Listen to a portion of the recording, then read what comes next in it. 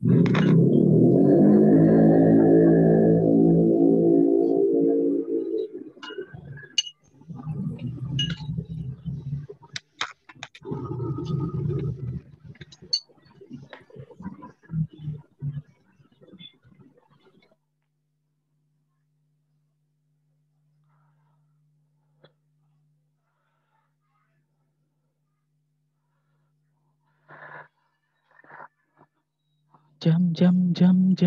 jam, berapa ini? 13.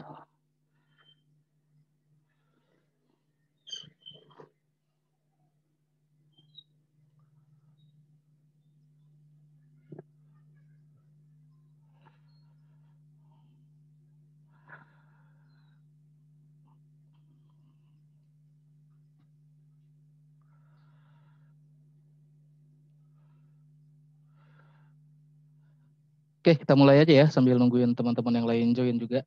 Uh, karena udah sore, takut nanti kita kesorean, targetnya sih nggak terlalu lama lah. Oke, saya mulai. Assalamualaikum warahmatullahi wabarakatuh. Selamat sore semuanya, teman-teman calon sarjana ilmu komputer, Bapak Ibu dosen dari Prodi Informatika Universitas Sibrasia. Nah, kita ketemu di acara ini diskusi santai aja dari Prodi Informatika dan di dalamnya nanti ada beberapa informasi yang disampaikan termasuk nanti untuk uh, semester antara yang akan berjalan minggu depan ya. Uh, kalau minggu ya minggu depan mulai Senin depan itu kita sudah mulai uh, merancangkan dan berjalan di awal Agustus sebenarnya. Jadi pendaftaran semester antara itu sampai dengan 4 Agustus. Nah, itu termasuk informasi yang akan kita sampaikan dan lain-lainnya ya. Banyak lain-lainnya nanti kita diskusi bareng. Lebih fokus ke masalah kurikulum sih. Nah, untuk semalam kita sudah sama-sama ikut meeting yang diadakan oleh Pak Wahab dan Bu Meta. Nah, di situ kita bisa sama-sama dapat informasi mengenai bagaimana sih bisa kuliah gratis di Unsia. Nah, yang artinya gratis kan atau ada imbalan, tentunya kita ada effortnya dulu sebelum mendapatkan imbalan tersebut.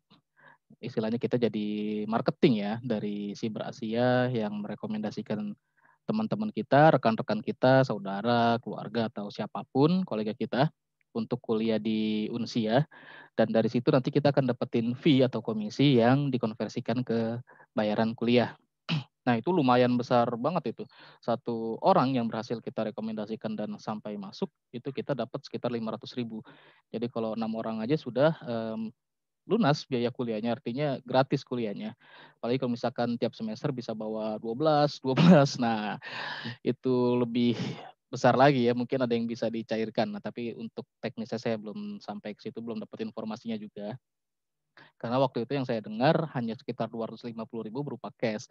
Cuma ada program lagi tadi dari uh, semalam yang diinformasikan Pak Wahab dan Bu Meta 500 ribu untuk potongan biaya kuliah kalau kita berhasil merekomendasikan setiap satu orang masuk si Berasia. Nah, sebenarnya program-program seperti itu banyak lagi ya. Salah satunya yang tadi tuh, yang uh, fee komisi untuk uh, rekomendasikan teman kita atau siapa pun masuk Unsia. Nanti ada lagi sebenarnya program-programnya termasuk dari kooperasi si Berasia. Nah, kebetulan Pak Wahab itu beliau itu adalah mantan irjen dari ketenaga kerjaan, jadi relasinya luar biasa. Terus uh, ide bisnisnya juga luar biasa dan salah satu orang yang bersumbangsi sangat besar dalam pembentukan dan pendirian Unsia. Jadi uh, Pak Wahab itu sebenarnya kita nggak harus ragu lagi sih kalau dia sudah bicara A, dia pasti akan komitmen A tersebut gitu. Nah nanti tadi contohnya potongan biaya kuliah, terus nanti ada kooperasi dari uh, Universitas Cibarasia yang nanti akan dikelola oleh teman-teman dari himpunan dan mahasiswa yang lainnya.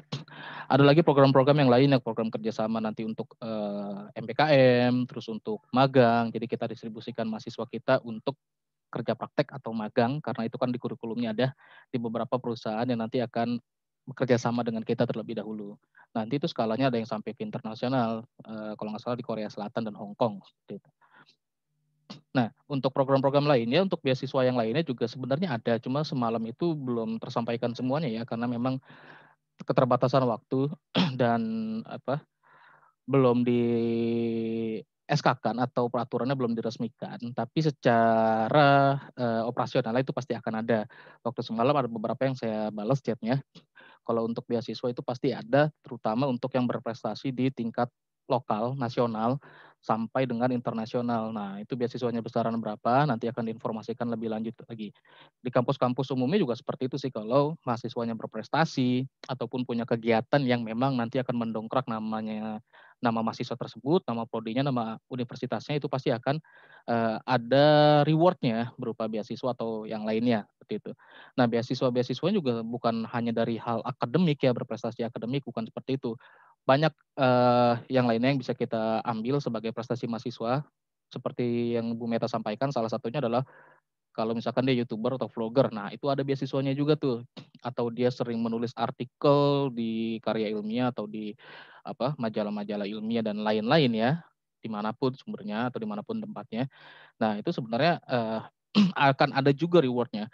Makanya beberapa tugas saya biasakan biar teman-teman itu uh, bisa berbicara ke depan orang banyak atau ke orang banyak ke halayak umum. Tugas-tugas yang membuat vlog yang teman-teman merecord hasil tugasnya terus dipublikasikan. Nah itu sebenarnya salah satu pembiasaan buat nanti mencapai beberapa prestasi baik akademik maupun non akademik nah seperti itu ya. Salah satunya itu adalah contohnya. Dan banyak hal lainnya lagi kalau misalkan kita um, bicara masalah beasiswa gitu seperti yang sekarang lagi berjalan nih, ada beberapa dari teman-teman di prodi manajemen dia sedang ikut lomba karya tulis tingkat nasional dan sudah masuk ke final. Dan itu aja sudah langsung dijamin sama universitas untuk mendapatkan beasiswa. Walaupun dia belum uh, dapat juara satu dua atau tiganya ya belum belum dapat juaranya atau belum ada hasilnya tapi sudah masuk ke final. Nah itu sudah ada rewardnya yang sudah uh, direncanakan akan diberikan. Nah yang lain-lainnya nanti akan banyak lagi Nah, kita balik ke semester antara karena ini yang banyak ditanyakan dan memang harus disampaikan secara detail. Jadi semester antara ini atau semester pendek ya, kalau di beberapa kampus banyak yang nyebut semester antara, semester pendek. Gitu. Nah, semester antara ini adalah semester yang terjadi di antara ya, di antara semester genap menuju ke ganjil setiap tahun akademik gitu. Makanya dibilang semester antara dan durasinya juga untuk semester antara ini enggak seperti semester reguler. Kalau semester reguler itu kan batasannya adalah minimal 14 kali pertemuan plus dua ujian. Nah, kalau di semester antara ini durasinya lebih pendek, lebih singkat gitu. Seperti contohnya di Unsia ini adalah 8 minggu pertemuan yang sudah termasuk UTS dan UAS. Karena memang standarnya seperti itu. Jadi materi yang ada kita kompres atau dipadatkan bukan berarti kita kurangi, tapi dikompres, dipadatkan, dan disesuaikan agar bisa mengakomodir capaian pembelajaran dari mata kuliah tersebut yang akan dilaksanakan dalam semester antara gitu ya. Makanya nggak semua kelas juga dibuka untuk semester antara. Kalau untuk semester 1 dan semester 2 kemungkinan bisa dibuka semua karena bisa kita kompres. Tapi ada yang dari semester 3, semester 5 dan semester 7 itu kita nggak buka dengan perhitungan uh, agar tidak memungkinkan kalau disampaikan di semester antara. Ada beberapa contohnya nanti akan saya uh, coba sampaikan atau kita lihat bareng-bareng ya. Nah, untuk SKS semester antara yang bisa diambil sama teman-teman ini maksimal adalah 9 SKS dengan ketentuannya nanti ada ketentuan-ketentuannya. Nah, untuk 9 SKS ini nanti balik lagi nih eh, dengan kesepakatan atau berdasarkan hasil bimbingan panduan dari dosen pembimbing akademiknya. Oke lah kita mungkin secara niat, secara semangat, ah ambillah 9 SKS gitu. Tapi dilihat dulu, karena tadi saya bilang dikompres padat artinya akan intens sekali belajarnya, akan intens sekali eh, pengerjaannya atau pemahaman materi dari teman-teman semua, teman-teman akan berakselerasi di semester antara tersebut, bukan seperti di semester reguler yang tiap minggu perkuliahannya. Kalau di semester antara itu tiap hari, gitu ya. Semester antara itu tiap hari, bukan tiap minggu, gitu. Jadi teman-teman eh, harus persiapkan diri dulu nih, apakah sanggup atau kita punya apa uh, spare waktu, spare dari diri kita sendiri ya.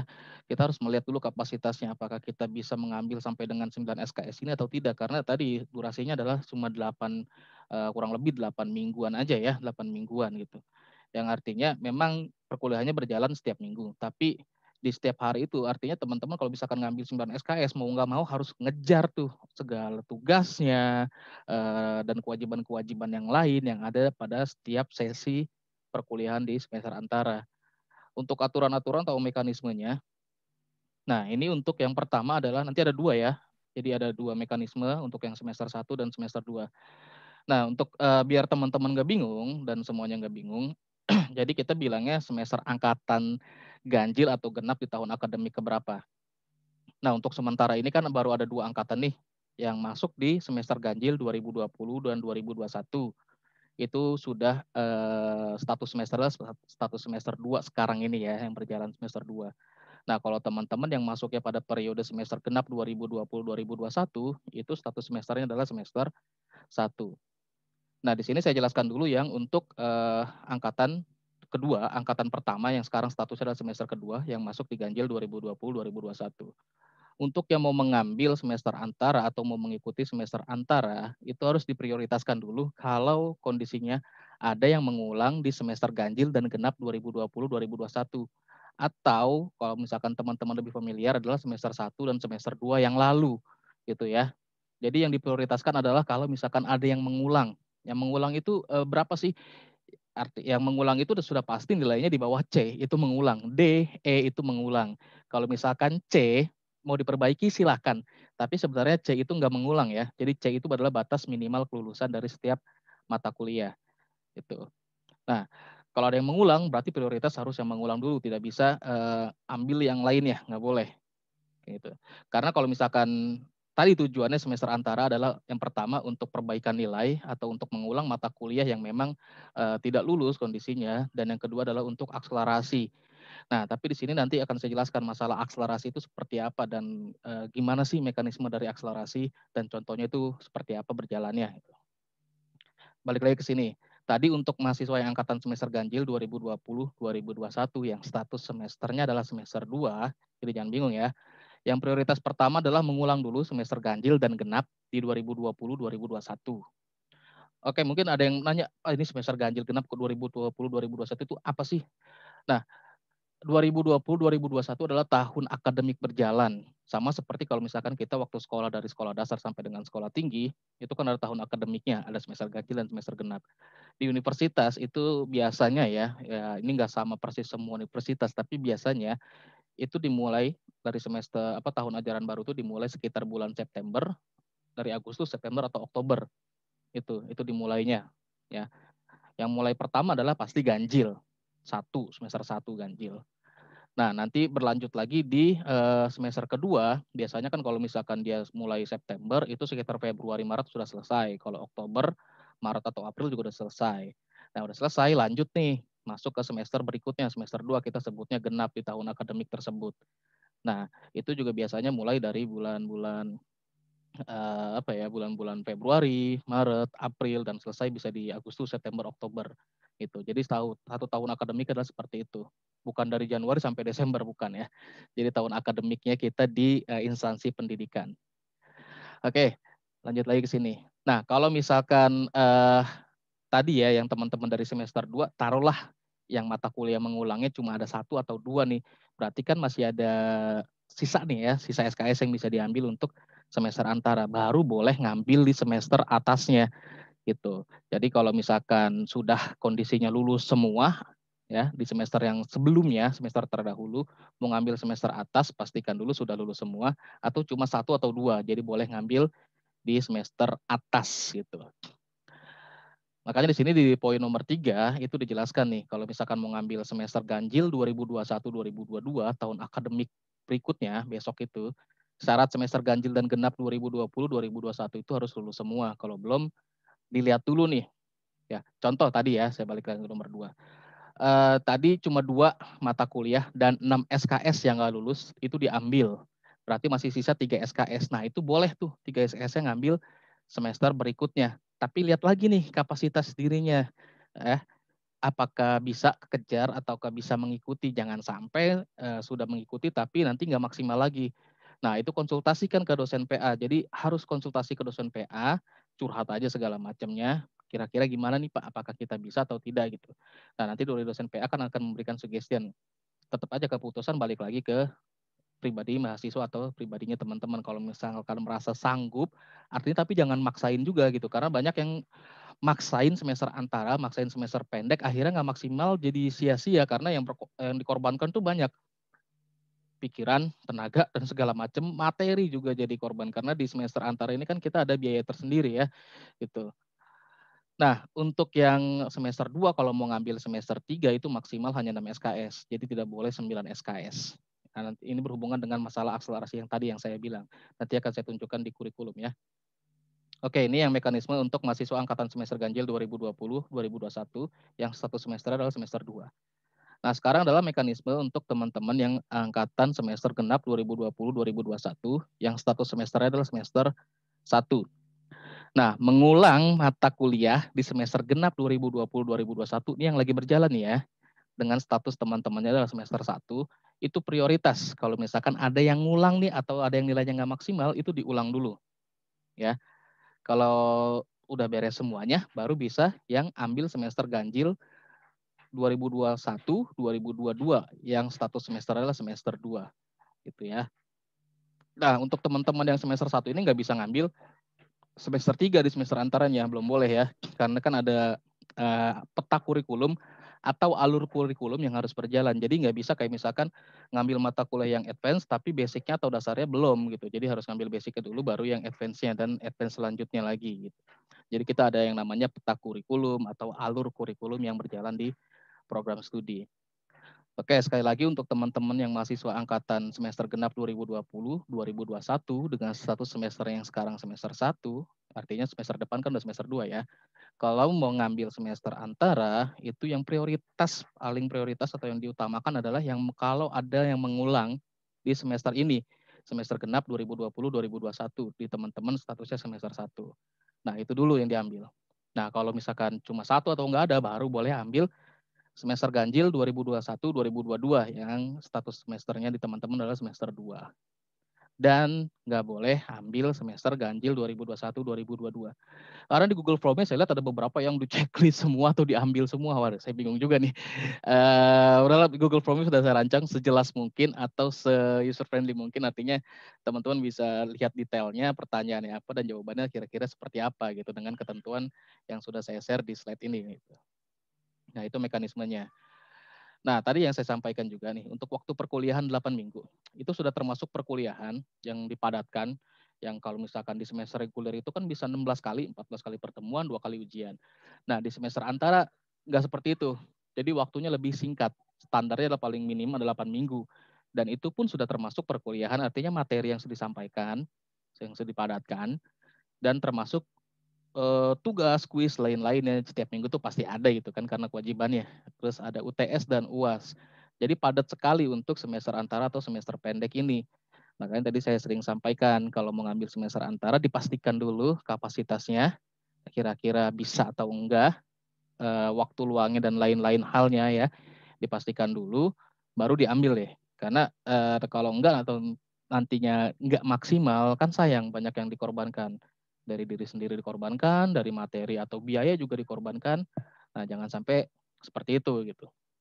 Karena banyak uh, sayangnya atau banyak ruginya kalau kita nggak maksimal di semester antara.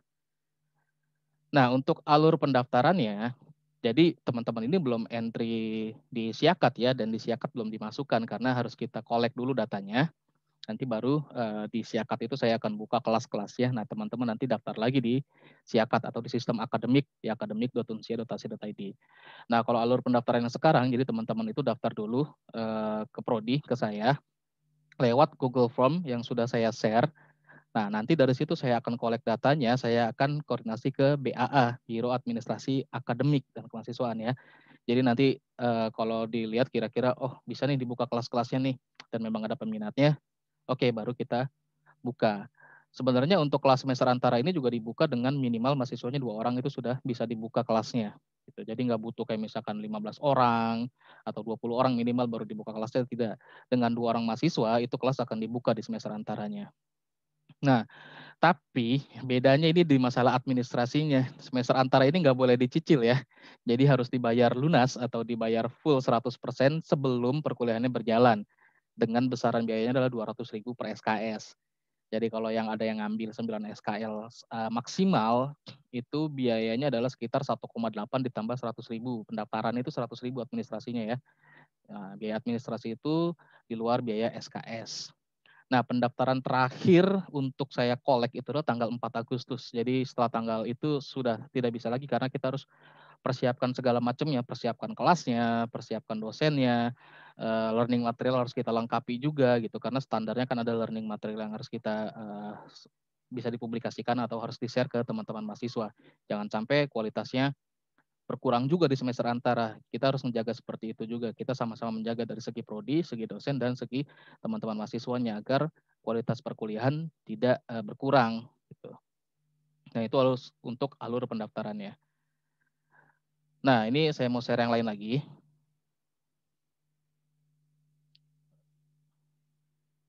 Saya share kurikulum ya. Sebenarnya teman-teman bisa ngelihat kurikulum itu dari sistem akademik gitu.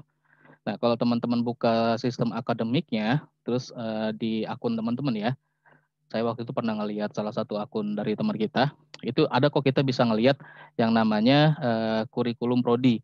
Nanti begitu teman-teman buka, isinya adalah distribusi mata kuliah atau semua mata kuliah yang akan nanti teman-teman pelajari selama semester 1 sampai dengan semester 8 itu apa aja gitu. Nah, untuk yang uh, Excel sih ada juga nih ya. Ini sama aja sih. Ini cuma bentuk Excelnya dan tadi sudah masuk ke dalam sistemnya. Nah, untuk kurikulum kita saya informasikan sekali lagi, kita punya dua peminatan ya. Yang pertama itu ada peminatan data science Oke.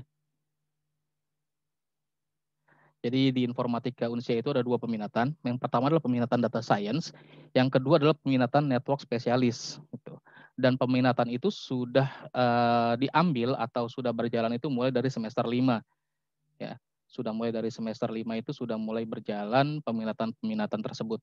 Jadi nanti di semester 5 ini teman-teman contoh di sini ada sekitar uh, 1 2 3 4 5 6 7 8. Ada 8 mata kuliah yang wajibnya itu adalah 4. Oke, yang wajib ini 4. Yang pilihan ini adalah ada 4 nih. Nah, yang wajib ini wajib diambil. Nah, pilihan ini adalah nanti salah satunya diambil nih. Contoh untuk yang nomor satu ini, ini machine learning dan sistem jaringan 2 Nah, machine learning ini untuk mata kuliah peminatan data science, sistem jaringan dua ini untuk peminatan yang network spesialis. Terus yang nomor dua ini ada deep learning sama jaringan wireless dan mobile. Yang masing-masingnya deep learning untuk peminatan data science, jaringan wireless dan mobile ini untuk peminatan network spesialis. Nah ini nggak diambil semua, jadi pilih salah satu. Kalau misalkan teman-teman nih, contoh mahasiswa A, peminatannya yang dia ambil atau dia pilih adalah peminatan data science. Maka di semester 5 ini, yang mata kuliah yang wajib diambil adalah machine learning, deep learning, dan empat mata kuliah wajib lainnya. Gitu. Terus kalau yang mahasiswa B peminatannya network spesialis. Nah, mata kuliah yang diambil adalah sistem jaringan dua, jaringan wireless dan mobile sama empat mata kuliah wajib lainnya. Gitu. Jadi yang contoh A tadi peminatannya peminatannya sudah data science, dia mau ngambil lagi sistem jaringan dua, ya jangan bisa aja tapi jangan gitu, nggak diakui di KRS-nya masuk tapi nggak diakui sebagai eh, SKS-nya nggak di ini ya nggak di, nggak diakui atau nggak dihitung nanti pada saat mau yudisium gitu. Karena peminatan yang sudah dia ambil itu adalah data science gitu. Nah, untuk minimal kelulusan S1 itu SKS adalah 144 minimal dan ini semuanya sudah 144. Jadi harusnya nggak ada yang kekurangan SKS. Ada yang model-model seperti itu uh, kalau dari pengalaman saya di tempat-tempat yang sebelumnya. Jadi misalkan dia peminatannya data science, tapi begitu mau yudisium atau mau kelulusan, SKS-nya kurang. Entah apa yang terlewat, ya, miss bimbingan dengan pembimbing akademiknya atau seperti apa gitu. Dan kebetulan kurikulumnya udah berganti, berubah. Akhirnya nggak ada yang bisa diambil lagi, kecuali mata kuliah yang lain, contohnya ada di peminatan yang lain ya, mau nggak mau diambil dan diakuin. Nah itu kan insiden, tapi ter, eh, jarang banget terjadi insiden seperti itu ya. Cuma satu dua persen aja dah dari satu lulusan seperti itu. Jadi nggak ada yang seperti itu. Nah yang saya bilang akselerasi di sini, tadi sudah saya jelaskan juga, fungsi dari semester antara atau semester pendek adalah tadi untuk perbaikan nilai atau proses mengulang mata kuliahnya. Jadi biar nggak ngulang di semester berikutnya. Taruhlah misalkan semester satu ini ya teman-teman yang di semester satu ada yang ngulang nih. Oke, yang artinya kan nanti ngambil lagi atau bisa ngulang lagi di semester ketiga. Ya, jadi kita ketemunya tuh ganjil-ganjil, genap-genap gitu. Nah ini nanti berhubungan dengan teman-teman yang bingung kok Pak saya semester satu belajar semester dua ya gitu. Harusnya kan saya belajar semester satu Nanti akan saya jelaskan seperti itu. Ada uniknya memang di Unsia ini. Nah, oke okay, tadi ya, contoh ada teman-teman dari semester 1 yang ngulang di semester 1 tapi eh, nggak mau ngambil semester antara. Artinya nanti di semester 3-nya ya yang harusnya 18 itu nanti akan bertambah nih kalau teman-teman ngambil atau memperbaikan mata kuliah ya, perbaikan nilai mata kuliah yang nggak lulus tadi di semester 1. Yang harusnya cuma 18 nambah jadi 21 contoh gitu misalkan yang nggak lulus 3 SKS atau yang nggak lulus contoh ya yang nggak lulus yang 6 SKS malah jadi 24 SKS bebannya makin berat kalau bisa diambil di sini. Kalau misalkan nggak uh, bisa diambil gitu, artinya nggak yakin kapasitasnya, akhirnya nanti ngambilnya di semester-semester berikutnya, semester 5 atau di semester 7. Itu. Jadi beban SKS berikut-berikutnya itu akan terpengaruh dengan hasil kelulusan dari semester sebelumnya. Ya, jadi jangan sampai ada mata kuliah yang mengulang dan segala macam. Jadi kalau ada yang mengulang, usahakan sebisa mungkin jangan diambil di semester berikutnya. Mendingan ambil di semester antara biar semester-semester berikutnya beban SKS-nya ringan gitu ya, dikit gitu. Nah, akselerasi yang tiga setengah tahun gimana Pak? Oke, akselerasi yang tiga setengah tahun ini seperti ini. Uh, saya bilangnya jujurnya ya ke teman-teman semuanya. Ini berhubungan dengan akreditasi kita. Kalau secara PP, secara peraturan sebenarnya unsianya sendiri dan kita itu sebenarnya akreditasinya sudah terakreditasi C yang artinya kalau C itu dikonversi ke sekarang ya akreditasi yang sekarang adalah baik gitu. Jadi bukannya tidak terakreditasi gitu. Cuma kan eh, kita sedang mengejar target akreditasi B dengan apa sih alasannya? Ya kita pengen bisa dibilang prodi dan universitas yang unggul. Jadi akreditasi itu adalah A, B, C gitu ya. Jadi C itu baik, B itu unggul, uh, sorry B itu baik sekali, A itu unggul, unggulan ya, gitu atau sangat baik gitu ya. Akreditasi paling tinggi itu A. Di akreditasi nasional atau akreditasi di uh, lokal kita di negara kita. Gitu. Nah kita mengambil B dengan tujuan apa? Karena begini, kadang-kadang di beberapa instansi uh, uh, BUMN atau di instansi dalam negeri ya, yang kalau mau masuk ke CPNS itu kan ada minimal akreditasinya harus B atau sangat baik gitu ya, baik sekali itu. Nah kita mau ngejar di situ biar uh, memang kita buat nunjukin kualitas kita punya kualitas di situ akreditasinya dari kualitas akademik dan kualitas lain-lainnya dan kita berhak mendapatkan akreditasi dengan nilai B. Nah, terus masalah akreditasi ini gimana? Sebenarnya untuk uh, model akreditasi yang sekarang, akreditasi yang sekarang ini adalah akreditasinya orientasinya outcome base gitu ya, outcome base. Jadi capaian bukan uh, inputan lagi seperti dulu. Kalau dulu itu adalah inputan. Kalau sekarang, uh, sorry boleh di silent dulu sudah bisa untuk menentukan turunan dari fungsi biasa, fungsi kuadrat, fungsi... Oke, sorry saya mute dulu ya. Nah, balik ke akreditasi tadi. Nah, akreditasi yang sekarang ini adalah akreditasi yang orientasinya ke output dan outcome, bukan input seperti dulu. Dulu itu orientasinya input, yang artinya asal ada inputan datanya, terus rasionya sesuai antara dosen, mahasiswa, terus uh, keuangan dan lain-lain SDM penelitian Pengmas itu gampang lah dapatnya gitu. Tapi akreditasi yang outcome ini berdasarkan luaran semua. Istilahnya gampangnya gini, nggak akan ada lagi bisa ada manipulasi data atau main masuk-masukin data gitu. Akreditasi yang sekarang itu harus ada pembuktiannya. Kita masukin A, buktinya A mana. Kita masukin B, buktinya B mana gitu. Outputnya mana, outcome-nya mana, hasilnya mana. Gitu. Nah, faktor lulusan jadi lulusan mahasiswa, terus eh, kepuasan pemakai atau pengguna mahasiswa, artinya kalau misalkan sudah lulus jadi sarjana, terus dipakai atau kerja di perusahaan, nah itu nanti akan diinterview juga tuh atasannya atau pemakai usernya gitu ya dari alumni kita. Nah itu berpengaruh juga gitu. Terus masa tunggu kerja itu berpengaruh juga. Nah kalau kita memaksakan akreditasi sebentar lagi atau tahun depan, itu kita sudah kehilangan poin banyak sebenarnya gitu ya, sudah banyak banget kehilangan poin Uh, dan agak susah banget sih sebenarnya kalau untuk dapetin B gitu. Dengan instrumen yang keisi lengkap semuanya aja susah gitu buat dapetin B. Apalagi kalau misalkan ada yang instrumen nggak ada isiannya gitu. Karena memang kita nggak bisa bikin-bikin atau kita buat-buat manipulasi gitu. Nah idealnya adalah akreditasi dilakukan setelah kita punya lulusan ya. Idealnya seperti itu karena kita biar punya uh, isian untuk beberapa instrumen dan bisa kita isi gitu bisa kita buktikan juga valid datanya. Nah, jadi idealnya setelah kita punya lulusan. Tapi karena kebutuhan uh, teman-teman semuanya dan kita juga ngelihat memang ya kampus sekarang dilihat dari akreditasi dulu deh. Makanya kita memutuskan di tahun 2022 atau di 2023 itu jadi kalau yang dari angkatan pertama mungkin statusnya di semester 7 atau di semester 8 itu kita akan melakukan akreditasi dengan uh, tos-tosan istilahnya itu ya. Ada beberapa instrumen yang nggak kisi tapi akan kita majukan akreditasi. Biar minimal kita usahakan minimal adalah B jangan sampai C lagi gitu. Kalau C ya sekarang juga udah C ngapain lagi gitu kan? Capek-capek buat ngejar kalau cuma dapat C lagi. Nah kita akan usahakan biar dapat B.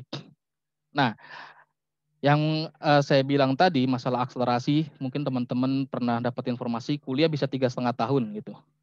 Tiga setengah tahun itu kampus-kampus eh, yang bisa meluluskan atau yang diperbolehkan mahasiswanya kuliah tiga setengah tahun kalau akreditasinya sudah minimal B atau A. Jadi minimal itu adalah B. Dia bisa meluluskan tiga setengah tahun. Kalau belum, maka tidak bisa gitu. Bahkan di tempat saya yang dulu, yang instansinya sudah akreditasinya A, itu juga belum berani meluluskan tiga setengah tahun karena nanti dilihat parameternya banyak banget. Dia mau yudisium orang dengan tiga setengah tahun, nanti akan dianalisa mature atau enggak. Kalau enggak, uh, resiko buat kampusnya, instansinya. Jadi dia nggak berani juga gitu. Diluluskan di yudisiumnya bisa di tiga setengah tahun, tapi dapat ijazahnya tetap aja dilaporinnya adalah empat tahun atau delapan semester. Banyak yang standarnya seperti itu. Kita juga nanti akan bisa seperti itu, tapi kita belum berani karena kita juga masih baru. Kalau kita main-main seperti itu, ntar resikonya lebih besar lagi gitu. Nah, yang saya bilang semester pendek, semester antara buat akselerasi, akselerasinya adalah seperti ini diambil banyak sekarang biar semester akhir-akhirnya itu sudah fokus. Kalau bisa di semester 8 ya itu cuma tinggal tugas akhir. Karena di semester 8 kalau di rancangan kurikulumnya itu ada 15 SKS ya dengan empat uh, mata kuliah. Jadi ini kan pemilihan nih ya, jadi pilih salah satu dan kedua, tiga, empat gitu dengan bobotnya 15 SKS. Agak berat kalau di semester akhir itu uh, selain tugas akhir ya SKS-nya ada ada mata kuliah lainnya lagi. Banyak aktivitas-aktivitas lainnya lagi. Lebih enak itu tugas akhir ya fokus tugas akhir aja gitu. Tugas akhir itu sebenarnya momok-momok yang menyeramkan tapi enggak juga sih tergantung orangnya. Tapi pengalaman saya termasuk ini pengalaman di AD saya sendiri gitu ya. Saya uh, jujur aja, bukan sombong. Selama saya ngebimbing mahasiswa itu minimal nilainya tugas akhir adalah B. Bahkan beberapa kali uh, langganan di kampus yang lama itu setiap mahasiswa saya adalah mahasiswa yang berprestasi atau wisudawan terbaik sefakultas. Tapi ada beberapa kasus yang gara-gara tugas akhir itu sampai di DO terlena ya, terlena, males atau segala macam crash dengan dosen pembimbing akademiknya karena masing-masing egonya besar gitu. Jadi tugas akhir ini tricky gitu makanya agak bingung juga sih di saya uh, tapi saya bawa pengalaman di tugas akhirnya saya rancang sebenarnya ntar ngerjain nggak di semester 8 tapi ngerjain udah mulai dari semester 5 itu udah ngerjain tugas akhir. Jadi semester 8 itu tinggal ngumpulin dokumentasi selesai gitu. Gitu ya. Nah eh, jangan dianggap remeh juga sih tugas akhir itu. Makanya tadi saya bilang akselerasinya adalah akselerasi untuk fokus di semester 8 jangan sampai ngerjain apa-apa kalau bisa sebenarnya udah selesai dari semester 7, semester 8 itu tinggal sidang lulus, udah beres nggak ngerjain apa-apa lagi. Gitu. Nah, akselerasi yang saya maksud adalah seperti uh, tadi yang saya sampaikan. Nah, untuk kurikulum-kurikulum ini nanti teman-teman bisa lihat sendiri ya di sini. Nah, ini saya mau info lagi. Mungkin ada yang bingung nih, kayak teman-teman di semester 1 ya, yang angkatan genap, kok saya belajarnya udah di semester 2 ya Pak gitu. Nah semester satunya saya ambil kapan? Kok baru semester depan gitu. Seharusnya kan saya belajarnya semester 1 dulu baru semester 2. Uh, sebenarnya bisa seperti itu. Tapi kita balik lagi tadi, kita kampus masih baru, instansi yang masih baru, agak tricky atau agak ngerih ya yang namanya kita main pelaporan-pelaporan seperti itu. Karena aturan seperti ini. Dalam satu waktu dalam semester tahun akademik berjalan itu nggak boleh ada dua semester yang berbeda, semester ganjil dan semester genap. Gitu ya. Contoh sekarang nih, sekarang kita di semester genap kan? Ya, semester genap. Nah, semester 1, semester 2, 3, 4 gitu ya. Kalau yang ganjil-ganjil ya bukannya semester ganjil, genap-genap bukannya di semester genap. Nah, di semester genap itu nggak boleh berjalan semester ganjil dan genap gitu. Makanya eh, teman-teman di sini sama nih yang semester 1, semester 2 mata kuliahnya adalah yang dari semester 2 gitu ya. Terus semester besok nih, semester ganjil, teman-teman yang sekarang semester 1 besok naik semester 2 itu nanti ngambil mata kuliah yang semester 1. Dan dari semester 2 ke semester 3 itu ngambil mata kuliah di semester 3, terus bisa loncat atau ngambil mata kuliah yang di semester 5. Gitu. Karena apa? Bisa loncat e, mata kuliah atau nyodok istilahnya karena tadi sudah ngambil beberapa mata kuliah di semester antara atau semester pendek terus bisa ngambil di semester atasnya gitu ya. Nah, teman-teman yang semester 1 nih, kalau misalkan ngambil beberapa mata kuliah di semester 1, nanti pada saat semester depan semester regulernya berjalan ya, nanti bisa ngambil beberapa mata kuliah yang ada di semester 3 dan itu ada yang dibuka. Berda, uh, sama seperti contoh yang ada di Google Form ini. Gitu. Nah, ini kan Google Form yang saya buka. Ini contohnya ya, ada yang sudah isi. Nanti kan diisi nama, NIM, dosen pembimbing akademiknya, terus status semesternya. Itu status semesternya. Ini contoh untuk yang status semesternya adalah semester 1 yang masuknya genap 2020-2021. Nah, mata kuliah yang diulang, kalau ada yang diulang artinya bukan yang ini ya, kan belum diambil yang ini. Yang diambil tuh yang ini nih. Kalau misalkan ada yang diulang di mata kuliah semester genap gitu. Kalau ada yang diulang ya silakan di yang mana yang mau diambil gitu. Terus uh, kalau misalkan ada yang sudah uh, diulang beres, masih ada sisa SKS ya, kan maksimal 9 SKS. Mau ngambil mata kuliah semester ganjil 2021-2022 itu ya untuk mahasiswa yang angkatan genap ini ya, yang sekarang status semesternya semester 1, besok itu semester depan adalah semester 2. Contoh cuma ngulang satu atau nggak ada yang diulang nih, terus ngambil mata kuliah semester ganjil kayak ini ya contohnya ya kayak Mas Agung Mubarok dia nggak ada yang ngulang uh, kondisi seperti itu padahal kita belum tahu belum keluar KHS ya gitu kan. Tapi ya kita estimasi seperti itu. Uh, karena udah yakin nggak ada masalah ya kan nggak ada masalah. Absensi normal UTS lumayan bisa lulus lah. Jadi ambil ini nih beberapa mata kuliah nih. Ngambil sekitar 4 7 9 maksimal diambil 9 Oke, nanti ini konsultasi lagi ke dosen PA-nya ya. Kalau saya sih nggak masalah selama kapasitasnya yakin bisa terpenuhi, bisa menjalani silahkan aja. Kan udah ngambil nih, ya, udah ngambil di sini dia ngambil empat mata kuliah, artinya tinggal lima tambah lima tinggal sepuluh kan bisa ngambil maksimal sampai 24 ya gitu atau 19 lah taruh minimal 19. Nah, nanti yang si Mas Agung Mubarok ini di semester depan tinggal 10 SKS artinya bisa nyodok beberapa mata kuliah yang ada di semester 3 ini. Cuma yang di semester 3 itu nggak saya buka semua ini nih. Cuma sistem digital dan sistem operasi aja. Kenapa? Karena ada beberapa mata kuliah yang kalau dikompres agak uh, tidak memungkinkan ya. Tidak memungkinkan kayak matematika diskrit, kolaps kita belajar matematika diskrit semester antara. Agak agak agak ini risky ya. Uh, tricky juga itu kita nggak bisa. Terus uh, pemrograman PLSQL enggak juga gitu pemrograman PLSQL ini butuh step by step biar semuanya dapat DDL, DML dapat jadi semua materinya dapat eh, CPMK-nya tercapai gitu. Terus ada yang dua semester doang kenapa nggak dibuka Pak gitu. Sayang di semester antara kalau ngambil yang SKS-nya kecil-kecil gitu ya. Kalau mau ngambil yang tiga, tiga sekalian. Ngapain ngambil yang cuma dua atau satu gitu. Makanya nggak saya buka. Nah itu kan contohnya sudah bisa akselerasi seperti itu. Nah mungkin dari situ ada yang mau ditanyakan dulu. Silakan kalau ada yang mau ditanyakan. Pak izin bertanya Pak. Boleh, Mas Dudung. Uh, untuk biaya per semesternya berarti itu tetap aja Pak? Apa terpotong juga? Nah, makanya tadi uh, saya sampaikan seperti ini. Yang pertama, mungkin teman-teman harus pahami dulu, biaya semester di Unsia itu adalah modelnya paket. Jadi berapapun SKS-nya, biayanya seperti itu, sebesar itu gitu ya. Jadi kalau misalkan cuma ngambil dua SKS ya tetap aja yang dibayar 3 juta per semester karena dia sudah model paket gitu.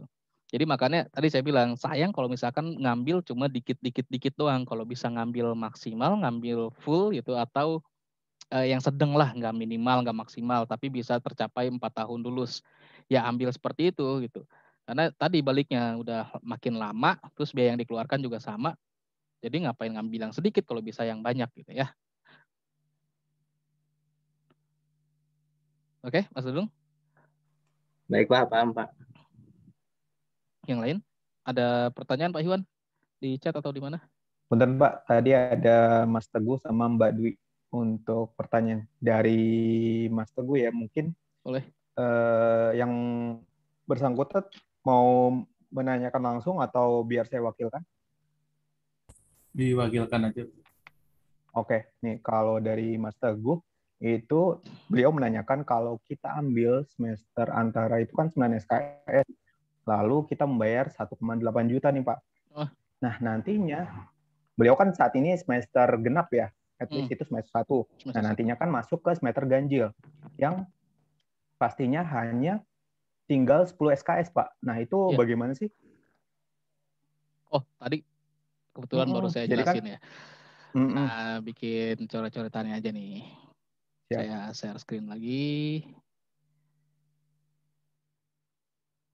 Sini share. Oke, kelihatan ya. Nah, Bikin satu file lagi deh. Bentar. Ups, sorry.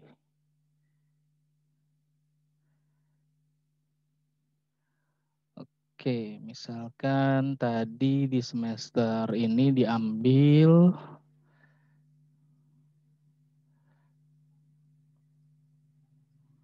terus ada lagi nanti di semester 3.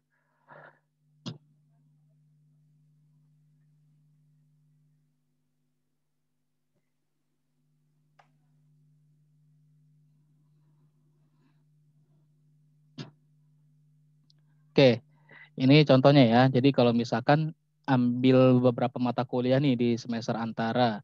Contoh ngambil eh, mata kuliah algoritma pemrograman sama ini. Oke, ini diambil ya. Gitu. Di semester antara nih atau eh, ngambil 9 atau 8. Saya contohin yang enak-enak aja dulu dah. Coba ambil dua dulu gitu. Nah, artinya yang harusnya 19 SKS sudah berkurang 6 SKS ini. Jadi SKS-nya tinggal 13 SKS gitu ya. Dengan mata kuliah yang belum diambil. Ini saya bikin merah aja deh. Nah, jadi sisanya adalah 13 SKS. Kan bisa maksimal sampai 24 atau kita batas minim 19 dah.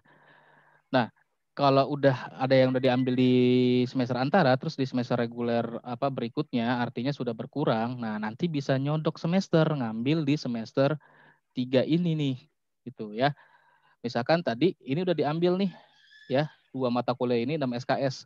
Terus mau nyodok atau mau ngambil di mata kuliah berikutnya, taruhlah ngambil agama, pengen ngabisin MKU dulu nih yang gampang-gampang. Terus sama sistem digital. Nah, ngambil tiga mata kuliah ini. Oke. Nah, yang 13 SKS berarti kan ditambahkan SKS-nya dengan ini nih. Ini ada sekitar 7 SKS. Ditambah 7.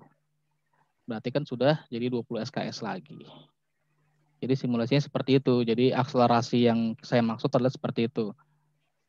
Clear ya? Baik. Eh, Mas Teguh bagaimana?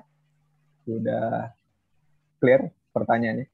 Oh, berarti kalau ngambil 24 SKS, bayarannya tetap 3 juta ya Pak ya, untuk semesterannya ya?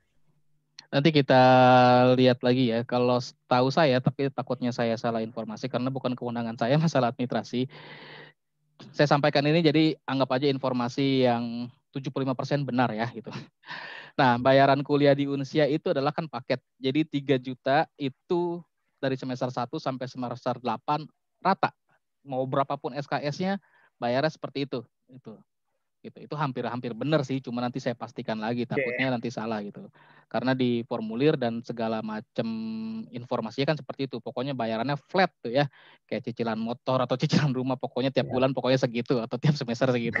Jadi nggak naik turun gitu. Mau SKS-nya satu ya tetap bayar 3 juta gitu. Mau SKS-nya 24 ya bayarnya cuma eh, segitu gitu karena eh, paket. Jadi bukan yang model non paket atau per SKS. Oke ya.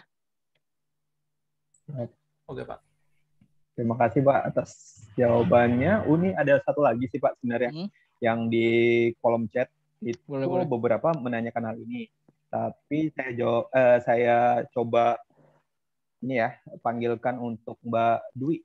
Apakah berminat untuk menanyakan langsung ke Bapak Rian terkait dengan pertanyaan semester genap dan perbaikan nilainya? Ah, diwakilkan Oh, diwakil Oh, Pak. iya. Baik, ini diwakilkan semua ya. Ini pada ini ya Pak malu kayaknya. Iwan kayak penghulu nih mewakilkan melulu Iya. jadi wali kayaknya. Jadi dari tadi Mas Rido juga nanyain hal ini kan Pak. Ma- Boleh, eh, Mbak. Dwi juga menanyakan hal ini. Jadi gimana sih kita tuh di semester genap tuh Pak kan mau perbaikan nih atau mau ikut semester antara. Hah? Nah sedangkan batas dari semester antara itu pendaftarannya tanggal 4. Nah Hmm. Untuk UAS sendiri itu kan tanggal 3 Pak. Jadi agak-agak ini ya tricky ya. Iya. Jadi kita nggak tahu nih mata kuliah yang kita mengulang sehingga kita harus ambil di semester antara. Nah, Seperti itu. Itu langsung saya jawab ya. Makanya tadi sebelum ngambil semester antara itu, itu hukumnya mutlak wajib banget bimbingan sama dosen pembimbing akademik. Karena pembimbing akademik di situ sudah bisa ngelihat eh, simulasinya nih ya, apakah akan lulus atau tidak gitu. Bisa dilihat di situ. Tapi dari kita sendiri juga kita bisa mengira-ngira. Ah, absensi normal, lancar, tugas aman, UTS aman, UAS sudah ngerjain, masa iya nggak lulus gitu. Tapi kalau misalkan ada miss, contoh UASnya nggak ke enter gara-gara entar-entar dulu gitu, lupa, jadi UASnya nol, otomatis kan langsung nggak lulus. Tapi daftar semester antara gitu ya, buat yang lain-lain gitu. Eh sebenarnya semester antara ini nanti bisa di cancel sih, bisa di cancel. Jadi eh, nanti kalau misalkan di cancel pun uangnya akan dikembalikan atau dialokasikan untuk pembayaran di semester berikutnya gitu. Ya. Nah, kalau masalah mata kuliah apa aja nih yang mau diambil gitu. Tadi kan nggak tahu juga nih eh, yang lulus yang mana atau yang ngulang yang mana. Tadi balik lagi eh, diskusi dulu atau konsultasi dulu sama dosen pembimbing akademik nanti diarahkan. Oh, ambil mata kuliah yang ini aja nih biar nanti semester depan nggak terlalu ribet, nggak terlalu berat. Atau ngambil mata kuliah yang ini nih biar kita bisa akselerasi gitu. Oke ya. Siap. Oke, mungkin Mas Sinuk Gi hebat nih Pak. Mau nanya dari tadi udah raise hand kan? Boleh, silakan.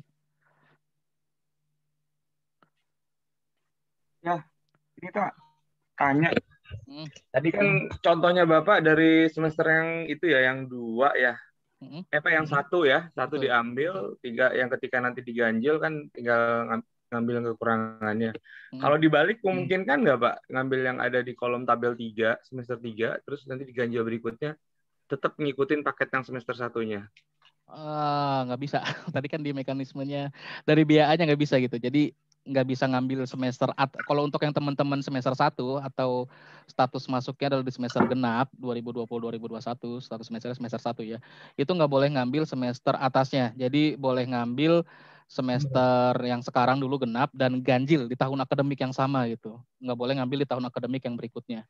Gitu ya. Oh, oke Pak, paham Pak, paham. Sip. Terima kasih Pak. Oke. Oke. Baik, ada yang ingin bertanya? Kembali untuk Pak, mau tanya, Oke. Iya, Bu boleh. untuk ya? mata kuliah yang semester 2 apa aja ya? Wah. Nanti Bu Nurita bisa ngecek login ke sistem akademik, terus lihat kurikulum prodi. Eh bentar Ada ya, saya coba prodi ya. Terus simulasiin ya. berarti kalau kita ikut semester antara 9 SKS, mudah-mudahan saya lulus ya, bismillah. Amin. kalau nggak lulus ngulang. Wah, Nah, Kalau misalnya eh, berarti saya bayar 1,8 plus uang semesteran 3 juta. Jadi 4 juta 800 gitu ya, Pak ya? Eh, ntar dulu saya jelasin ya. Eh, saya salah login. Sebentar, saya mau login ke salah satu akun mahasiswa lagi tuh yang pernah saya eh, pinjem. Pak Aryat, ini Hmm? untuk Bu Nurita, untuk kurikulum dan itu udah saya share di grup TA ya, Bu? Tadi Ah. malam kalau nggak salah. Sekalian ditunjukkan aja dah di sini deh. Oh, baik Pak Ikhwan. Nah, gini. Siap Jadi kalau di- nanti teman-teman mahasiswa semua nih mau ngelihat kurikulum ya, tinggal login, login ke akunnya masing-masing. Nanti di menu akademik nih, ya, di menu akademik ini, eh sorry, bukan menu akademik, di mana ya? Kartu saya mengulang. Loh, bukan di sini.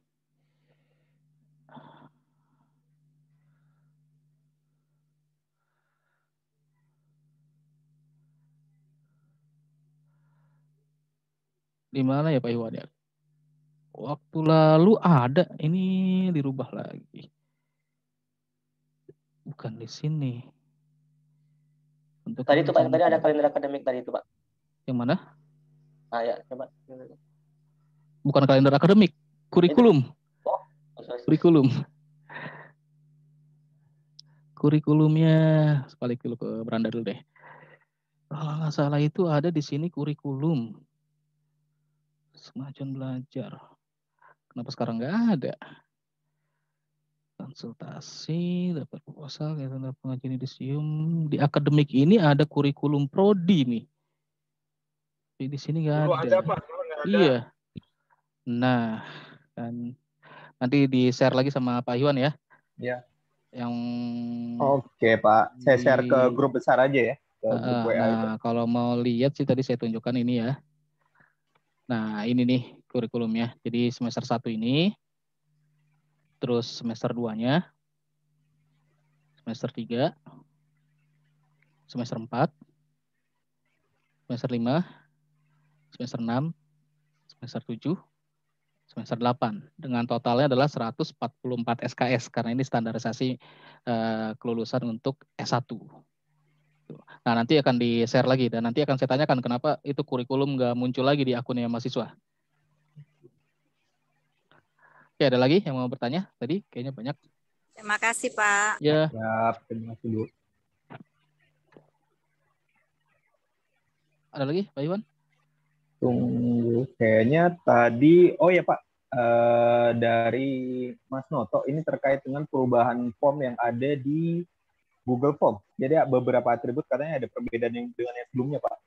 Ada perubahan. Coba saya lihat lagi. Tadi kan saya coba share yang ada di grup, itu saya reshare di message Zoom ini Pak. Wah, ada yang utak-atik jawaban apa? Wah. Ada yang lagi utak-atik ya.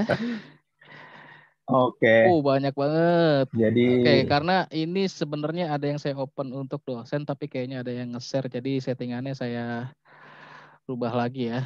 Iya. Ah, berubah dia. Nanti saya akan share ulang dari si Google Form ya. Oh iya, Ibu Nurita itu ngisinya di checklist semua. Iya Bapak, mohon maaf ya Pak dosen karena Pas saya cek, saking semangat ya. Ini mau diambil berapa puluh SKS? Saking semangat ya. Gak dibuka I- semua. Gitu. IT I- ID 03 ya? Iya, iya, rusuh emang, rusuh. Ya, ID 03. Ya, Aduh. pokoknya yang dicontreng semua itu berarti saya Pak salah pemahaman. Mohon maaf, Oke. mohon maaf. Ah, nanti Google Formnya saya rapikan lagi, di share lagi deh ya. Siap Bapak. Nah, terus tadi ada pertanyaan, wajib nggak sih semester antara? Eh, nggak wajib sih. Jadi balik lagi ke kita. Kalau kita mau ngikutin semester reguler biasa juga nggak apa-apa. Kalau semester antara ini sebenarnya sifatnya opsional aja. Jadi yang pengen enak-enak di akhir-akhir itu biasanya manfaatin semester antara. Tapi kalau yang mau normal-normal aja gitu, yang jalannya biasa aja sesuai ya udah aturannya begitu ya ikut aja lah, nggak usah pakai akselerasi, nggak usah macam-macam. Pokoknya eh, 8 semester 4 tahun lulus bisa nggak ambil semester antara. Jadi semester antara ini sifatnya opsional aja gitu. Kalau saya pribadi eh ada BA nggak ya? Nggak ada kayaknya. Ah nggak ada juga nggak apa-apa lah, biarin aja. Gitu. Ya, Udah, udah ketahuan kaprodi rusuh ya, soalnya kalau di informatika. Jadi sama kita. Jadi antara teman-teman mahasiswa sama saya kita satu tipe.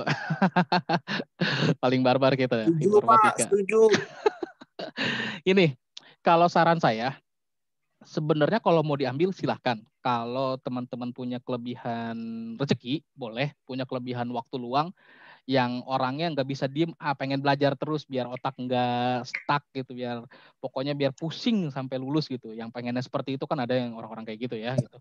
Kalau ya ada ya silahkan ambil semester antara. Tapi kalau mau yang santai tapi pasti gitu ya slow but sure, pasti ya bukan yang nggak pasti slow slow malah nggak kelar kelar jangan seperti itu. Bisa aja ngambil semester reguler biasa aja karena kan nanti di semester reguler yang biasa juga kan kita bisa ngambil sampai 24 SKS nah itu juga kan bisa sebagai akselerasi. Cuma kalau yang udah ngambil semester antara enaknya tadi aja yang kayak saya bilang tadi gitu. Eh bisa penuh padat di awal nanti terakhir terakhirnya di semester 7 semester 8 itu enteng gitu bisa jadi semester 7 cuma sisa 10 SKS, semester 8 ya cuma skripsi, bisa seperti itu gitu. Tapi kalau mau yang uh, normal ya bisa aja gitu. Dengan apa kurikulum yang sudah saya set ya semua bisa gitu. Mau ngambil jalur apa pun bisa, tergantung balik lagi ke teman-teman. Apakah pengen cepet banget di awal ditumpukin di awal biar ke belakangnya enak gitu kan. Biasanya kalau kita gitu ya, yang susah dulu ah biar belakangnya nyantai, enak. Ya ambillah semester antara. Tapi kalau yang enggak, uh, yang pengen biasa-biasa aja, ah ambil semester reguler aja gitu. Ya udah semester reguler aja nggak apa-apa. Gitu. Jadi nggak wajib, nggak harus gitu ya. Jadi kalau dari saya juga kan saya nggak bilang semester antara ini wajib diikutin. Enggak, yang mau ya silahkan, yang enggak ya nggak apa-apa. Oke, ada lagi pertanyaan? Silakan. Baik, Mas Saiful mungkin itu pertanyaan sama dengan Mas Ayatullah bisa diwakilkan sekalian.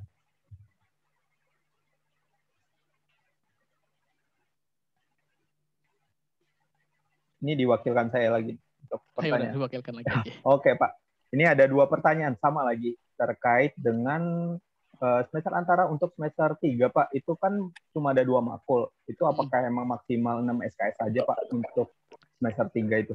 Iya, tadi yang sudah saya jelaskan. Jadi yang agak memungkinkan untuk dikompres atau dipadetin materinya ya cuma dua mata kuliah itu. Jadi di semester 3 itu ada sistem digital sama sistem operasi. Kebetulan nggak terlalu luas dan dalam materinya, jadi masih bisa kita padetin untuk disampaikan di semester antara. Karena kan di semester antara cuma 8 SKS gitu ya. Semester reguler itu 16 SKS ada beberapa mata kuliah yang saya uh, nggak berani berspekulasi untuk madetin materinya gitu. Kayak matematika diskrit coba teman-teman bayangin kayak statistik atau pelajaran matematika lah mata kuliah matematika tuh dipadetin pusingnya kayak apa gitu kan. Saya uh, nggak mengunderestimate teman-teman yang lain gitu tapi saya juga ngelihat nanti kalau misalkan tetap dipaksain capaiannya atau outcome-nya nggak dapet nah itu resiko buat kita gitu. Jadi kualitasnya nggak ini itu karena kan kita ada uh, badan penjaminan mutu nih Pak Iwan ini kan badan penjaminan penjaminan mutu nih ya audit internal. Nanti kita diaudit nih. Ini prodinya nggak bener nih orang. Mata kuliah ini CPMK-nya ini diadain seperti ini outputnya nggak dapet. Nah nanti kita dievaluasi tuh bareng-bareng gitu. Jadi saya menjaga seperti itu. Makanya di semester 3 itu yang saya buka cuma dua sistem digital sama uh, sistem operasi. Baik. Baik, untuk Mas Arief, apakah ingin bertanya? Karena ini saya lihat dari tadi resen. Oke, terima kasih Pak Riyad dan ya. Pak Pandi. Ini ada beberapa pertanyaan sih Pak Riyad dari saya. Uh, yang pertama untuk semester antara ini akan rutin atau hanya di tahun ajaran ini aja? Itu yang pertama.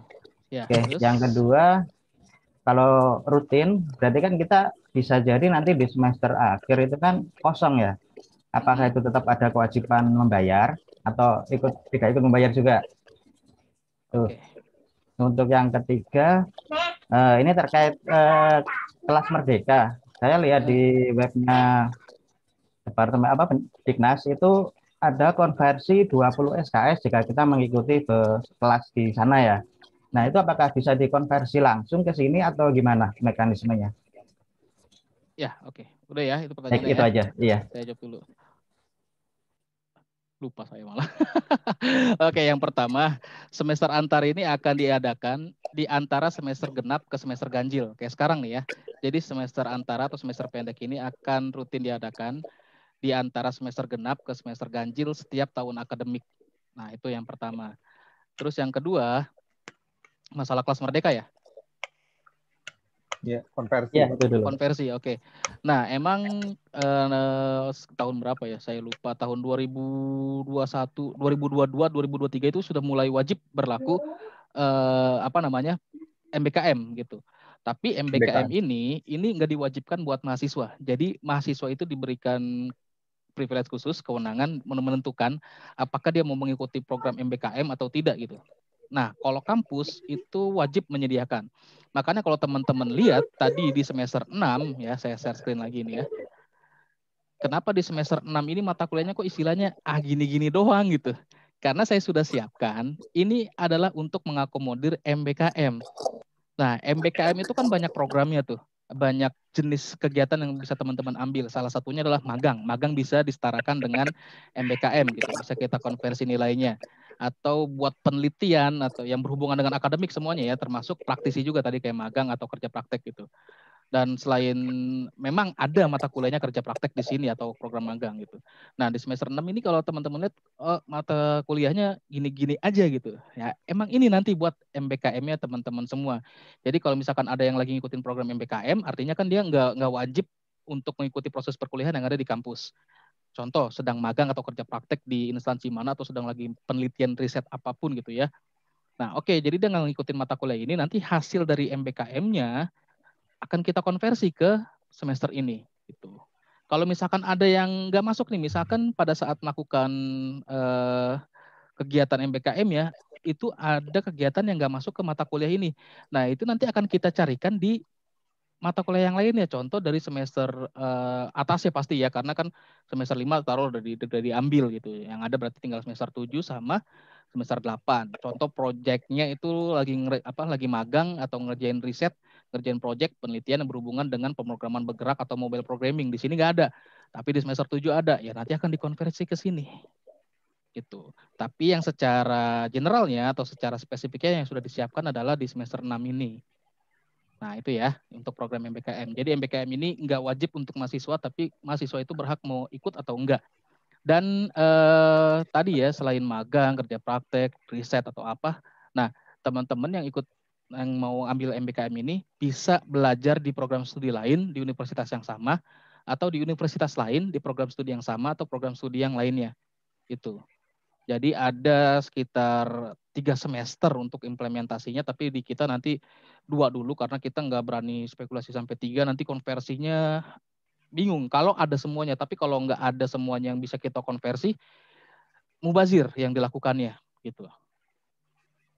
Ya, nanti program MBKM itu akan kita sosialisasikan lebih lanjut lagi, lebih detail lagi, apa aja kegiatannya, terus bagaimana atau mekanisme uh, melakukan MBKM tersebut dan lain banyak halnya ya. Gitu. Kalau sekarang kita belum uh, apa belum kita sosialisasikan karena kita masih menunggu regulasi-regulasi dari pemerintah, dari dikti dan lain-lainnya. Ada lagi yang mau tanyakan tadi atau tadi ada tiga ya pertanyaannya ya? Kurang satu apa Mas Iwan? Saya orangnya sangat lupa masalahnya. Saya cuma nangkep dua tadi Pak. Oh, Coba yang ini yang kedua ini Pak Rian. Ya, apa apa. Yang kedua itu terkait kalau ini kan rutin ya semester antara rutin uh, ya kan akhirnya oh, nanti iya, kita iya, akan iya, ngumpulin satu semester dalam semester Benar, antara berapa kali gitu ya. Mm-hmm. Apakah tetap ada Oke. Okay. Pembayaran yang rutin itu juga gitu. Ya. Nah, yang tadi saya sampaikan masalah pembayaran, saya nggak berani bilang 100% benar info saya. Tapi kalau berdasarkan pengumuman, informasi dan edaran, apalagi kalau misalkan teman-teman baca brosur dan segala macam ya mungkin dapat informasi dari marketingnya, bayarannya flat tuh 3 juta per semester sampai dengan lulus. Yang artinya anggaplah ini 75% benar ya informasi dari saya. Nah, mau sedikit mau banyak SKS-nya tiap semester ya bayarnya segitu sampai lulus. Pokoknya 3 juta per semester. Mau berapapun SKS-nya, bayarnya segitu karena modelnya sudah paket. Terus ada kondisi nggak kelar di semester 8, semester 9, padahal cuma 6 SKS gitu, tugas akhir. Ya tetap aja bayarnya paket segitu gitu. Makanya tadi saya bilang ke teman-teman dimaksimalkan kapasitasnya, eh, komitmennya dan lain-lainnya biar selesai 8 semester atau 4 tahun ini. Ya, karena yang minusnya kalau untuk model paket seperti itu. Jadi semua ada plus minusnya. Ada yang per SKS, ada yang per paket, semua ada plus minusnya. Karena kita Jadi, waktu itu dapat infonya ngejar segitu ya karena kita buat mengapa ya mengefisiensikan administrasi yang harus dibayarkan oleh teman-teman mahasiswa. Bayangin kalau misalkan kita bikin kayak gini per SKS di umum atau di luaran gitu untuk program yang kita kan bukan kelas reguler ya, kelas sudah campur aduk lah karyawan, profesional, ada semua di sini yang kita nggak bisa bilang ini kelas reguler gitu. Rata-rata itu udah di atas 200 ribu per SKS-nya. Taruh kita ngambil yang minim 200 ribu per SKS. Ngambil 18 aja, kalau dikali 200 ribu udah 3,6 juta. Belum ada BPP pokoknya dan lain-lain gitu. Nah, waktu itu yang saya dengar seperti itu, makanya dibikin paket aja 3 juta per semester. Oke ya? Ya, terima kasih Pak Riyad menganut sistem UKT ya Pak kalau di kampus reguler. Iya, gitu. Jadi ada BPP pokok, ada bayar apa SKS-nya, terus ada uang kemahasiswaan, uang lain-lain tuh banyak banget. Siap. Ada lagi yang mau tanyakan? Untuk teman-teman lainnya. Ini Mas Ahmad Nur Muazim. Apakah ada yang ingin ditanyakan? Baik, Pak. Ya. Ya, Eh, silakan. eh, kemarin eh, sebenarnya saya itu mau ganti perkuliahan di tempat di maksudnya di daerah saya sendiri. Bagaimana nanti eh, apa namanya berkas-berkasnya untuk melanjutkan kuliah di tempat apa wilayah sini, Pak, di Kendari itu. Kan kemarin sudah bayar 3 juta udah lunas. Terus untuk semester selanjutnya bagaimana nanti kalau kita mau mengajukan kuliah yang dekat-dekat sini aja? Oh, mau pindah kuliah ya? Ya. Seperti itu.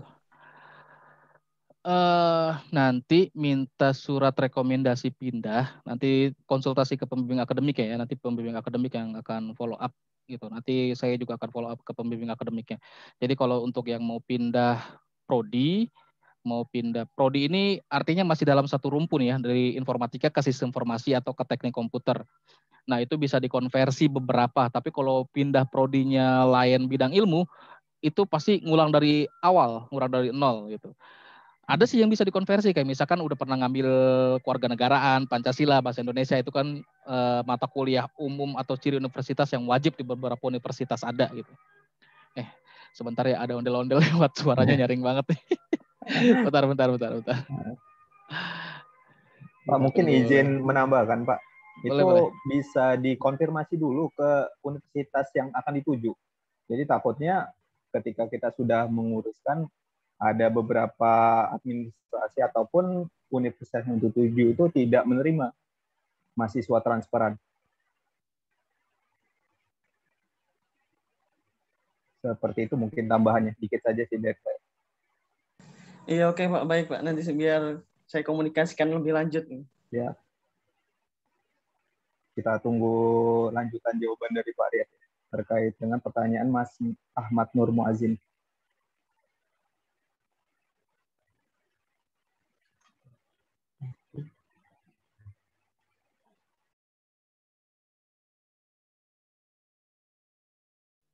Oke, baru lewat, baru selesai. Ada intervensi sedikit.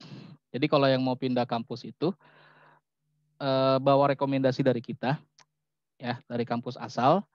Jadi kalau udah apa ya udah bebas administrasi segala macem, nggak ada tunggakan dan lain-lainnya, terus eh, udah lulus di semester ini, artinya udah lulus dulu nih. Kalau belum lulus ya nggak bisa dibawa ke tempat yang lain ya. Contoh sama-sama informatika, tapi kurikulumnya berbeda. Nah itu kurikulum kita eh, bisa diakuin semuanya atau enggak nih misalkan semester 1 ini udah ngambil 19 SKS dengan mata kuliah ABCDE gitu. Nah, di tempat yang baru itu waktu semester 1 ada enggak ABCDE-nya? Kalau ada yang bisa dikonversi atau masih satu rumpun ya, misalkan namanya aja berbeda nih, tapi isinya sama. Nah, itu bisa aja diakuin semuanya 19 SKS. Tapi begitu dikonversi atau dianalisa untuk disetarakan contoh cuma 10 SKS ya, udah 10 SKS itu yang diakuin gitu yang lainnya ya harus kita tetap ambil ya. Jadi kalau yang untuk pindah kampus seperti itu. Oke, yang lain? Baik, teman-teman lain, mungkin ada yang ingin ditanyakan kembali? Mas Muhaidir ataupun Mas Zulkarnain? Di sini ada yang ingin ditanyakan langsung? Jika tidak, mungkin saya akan mewakilkan pertanyaan dari Mas Muhaidir ya di sini. Oke. Nah, di sini hmm, Pak mau tanya Pak. Nah, eh, untuk SKS dari di Unsia ini kan maksimal 24. Nah, untuk yang mengikuti semester reguler itu apakah bisa dari semester 3 ke atas itu mengambil 24 SKS, Pak? Karena kan selama ini masih paketan nih untuk semester Mhm. 1 dan semester 2-nya yaitu 19 SKS. Nah, untuk semester 3 hingga semester 7 itu Pak, apakah bisa mengambil SKS maksimal yaitu 24 SKS? Oke. Bisa banget itu. Jadi nanti eh, saya sekaligus coba ini ya. Buka peraturannya dari diktinya langsung. Eh, kompetensi menolak BKBM. Sebentar, saya cari filenya dulu. Jadi ini dari berarti sekaligus menjelaskan terkait dengan peraturan ataupun persyaratan tertentu ya Pak? Ah, ada Oke, nih, sudah ada file ya. untuk- Jadi ini dari diktinya langsung. Nah, jadi kalau teman-teman yang wah nih mata apa belajar di Unsia kok banyak banget kegiatannya ini itu segala macem lah. Nah, karena dari diktinya nih ya, ini yang harus saya sampaikan pertama. Nilai kredit semester atau SKS lah, sistem kredit semester gitu. Untuk mahasiswa nih ya, untuk eh, satu SKS-nya nih, ini malah cuma untuk satu SKS-nya. Itu adalah 50 menit tatap muka terjadwal dengan tenaga pengajar. Di kita Vicon, tapi kita nggak wajib gitu. Sebenarnya kita udah menyeleweng dari aturan dikti.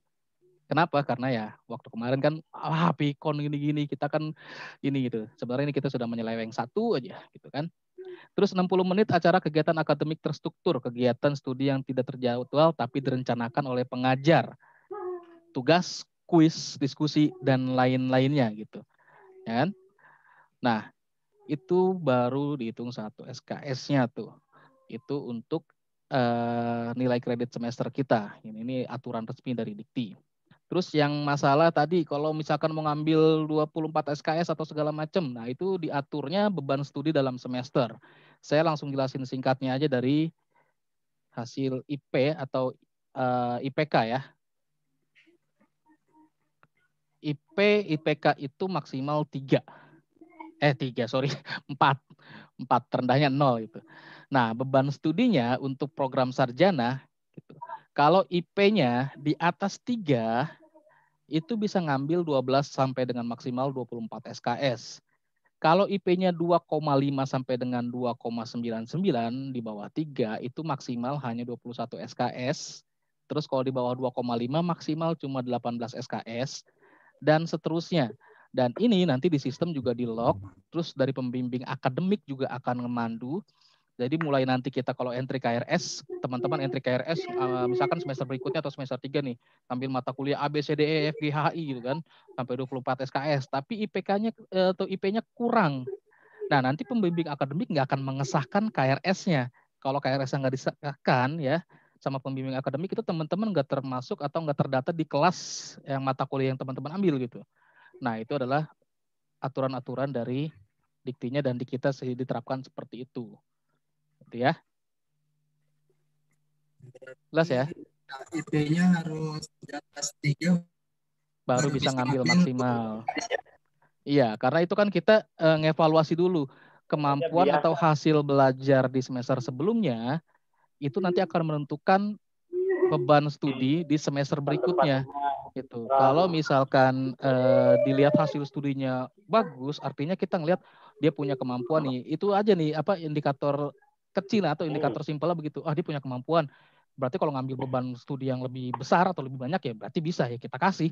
Nah makanya diakomodir seperti ini dari aturan dikti terus dari kita juga bikin sama seperti ini kok gitu. Berarti ya. nanti untuk PPA-nya ke mahasiswa nih yang IP-nya di atas tiga, apakah hmm. ada konfirmasi? Ya, bisa nanti. mengambil ini atau diarah? Pasti diarahkan, pasti diarahkan. Kalau dosen PA pasti mengarahkannya.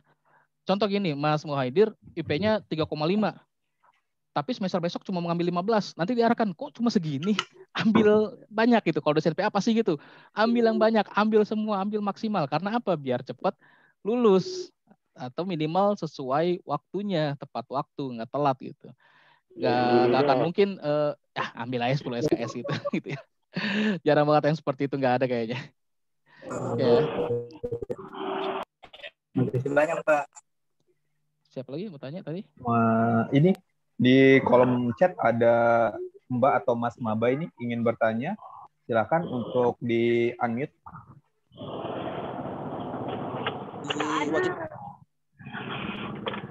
Cari lagi kah? Maba, namanya Maba. Iya. Yang nanya ya. Oke, saya jawab aja ya. Iya. Nah, untuk bisa konversi atau menerima mahasiswa pindahan itu tadi balik lagi ke masalah akreditasi universitas program studi ya universitas plus program studi yang bisa menerima mahasiswa pindahan atau konversi adalah universitas dan program studi dengan akreditasi minimal B. Kalau kayak kita berarti belum bisa. Jadi kalau sudah pernah kuliah di tempat yang lain atau sebelumnya udah pernah kuliah, di kita kita belum bisa konversi. Karena memang aturannya kita belum boleh. Itu tetap aja diulang dari nol, dimulai dari nol ya, dari awal. Oke? Okay? Siap. Oke, terima kasih Pak. Oke, okay, Mas Maba ya ternyata. Iya, saya jawabnya sampai Mbak, Mas dan Mbak nih. Ada lagi yang mau tanyakan? Kalau nggak ada kita mau ke lain? agenda yang lain atau informasi yang lain nih. Masalah Pak, himpunan belum. mau dan nanya dulu Pak, yang untuk mengenai praktek kerja. Kan itu ada di semester 7 kalau nggak salah. 6 di semester 6. Oh, semester 6 praktek kerja. Nah, praktek kerjanya itu nanti direkomendasikan dari pihak kampus atau dari kita sendiri yang menentukan mau praktek kerja di perusahaan ini atau di instansi ini. Ada dua model. Yang pertama, kalau misalkan mahasiswanya nggak dapet, kita yang akan carikan. Gitu. Tapi kalau misalkan kalau teman-teman atau mahasiswanya udah kerja nih sebagai IT, ya udah magang aja di situ, di posisinya, di perusahaan itu. Tinggal laporin dah kegiatannya. Enaknya gitu kalau yang udah kerja atau sudah punya pekerjaan. Tapi kalau misalkan ada yang eh, mohon maaf gitu belum bekerja atau pekerjaannya dia eh, wira swasta, wira usaha gitu ya kan.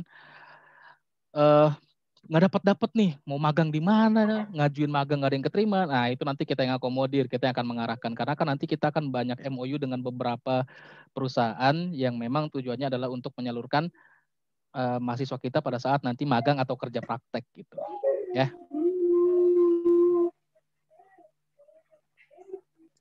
Oke.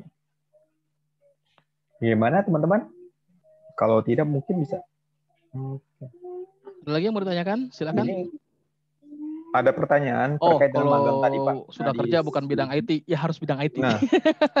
gitu. Eh, nanti kan sebelum magang ada panduan magangnya atau panduan kerja prakteknya, terus eh, mekanismenya gimana, terus posisi magangnya seperti apa gitu. Yang pasti harus sesuai dengan fokus peminatan atau kompetensi kita gitu.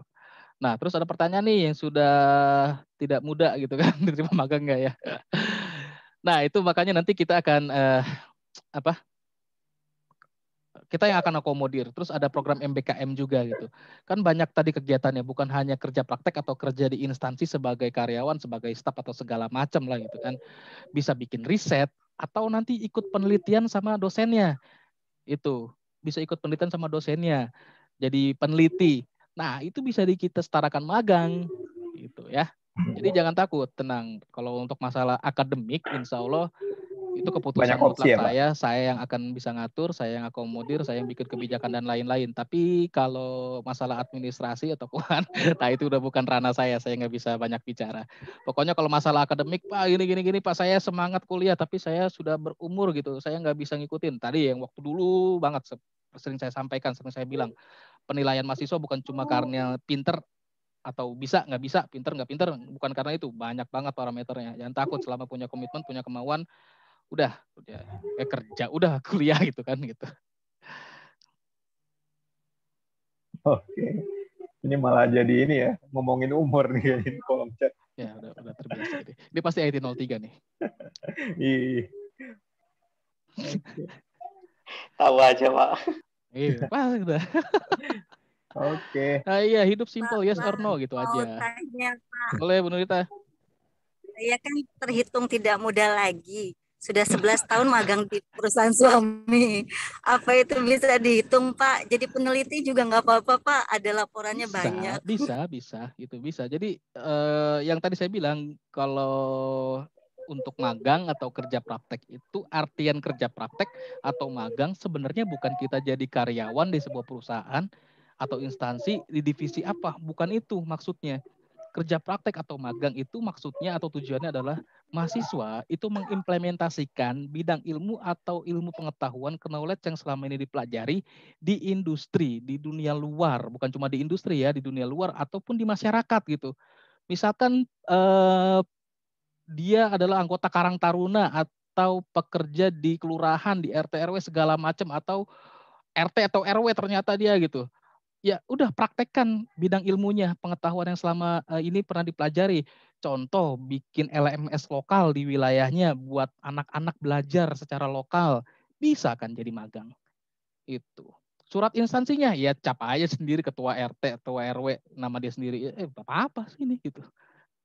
Yang diambil itu adalah implementasi knowledge-nya dia di bidang ilmunya gitu yang salah itu bidang ilmunya informatika tapi magangnya jadi koki. Nah, itu yang nggak akan saya akuin. Gitu ya. Oke, ada lagi? Hmm, belum ada Pak. Kalau dari kolom chat mungkin dari teman-teman. Masa ada Pak? Oh. Magangnya jadi koki Pak. Jadi ngakak sendiri. koki teknologi iya kalau programmer. Kalau kokinya koki beneran ya udah gawat urusannya. Nanti untuk magang uh, ada panduannya khusus kok. Udah, udah udah saya siapkan pokoknya sampai mahasiswa tugas akhir tuh semua udah saya siapkan. Alurnya udah saya siapkan juga. Dan kegiatan-kegiatannya apa aja udah disiapkan semua. Ada lagi yang mau ditanyakan? Silakan. Kayaknya belum ada Pak. Mungkin bisa lanjut ke topik selanjutnya Pak. Oke, lanjut topik selanjutnya ya. Nah, topik selanjutnya ini karena kita selangkah ketinggalan dari teman-teman kita di Prodi Komunikasi yang himanya aktif banget.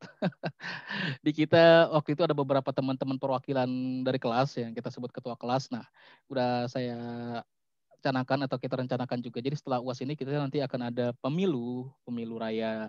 Ya pemilu raya ya lah kita udah banyak masyarakatnya gitu kan.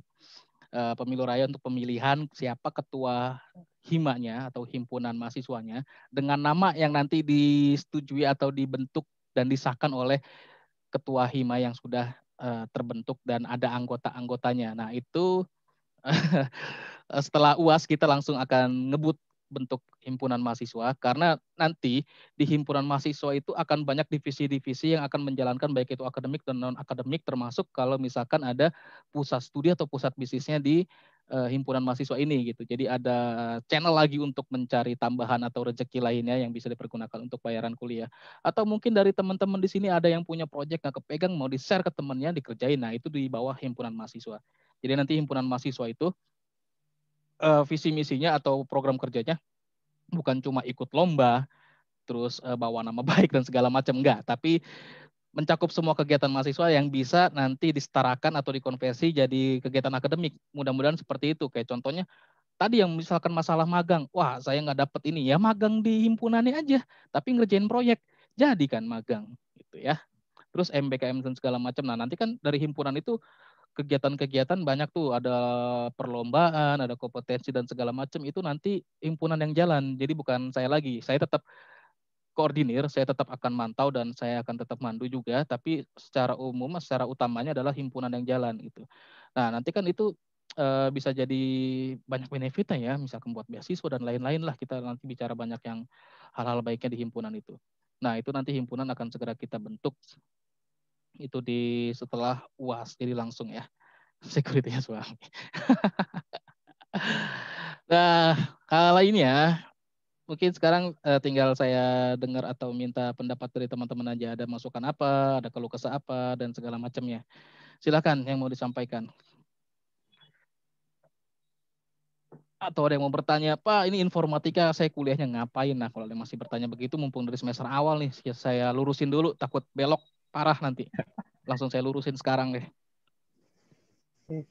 Baik teman-teman, bisa yang ada pertanyaan di luar dari materi juga nggak apa-apa ya Pak?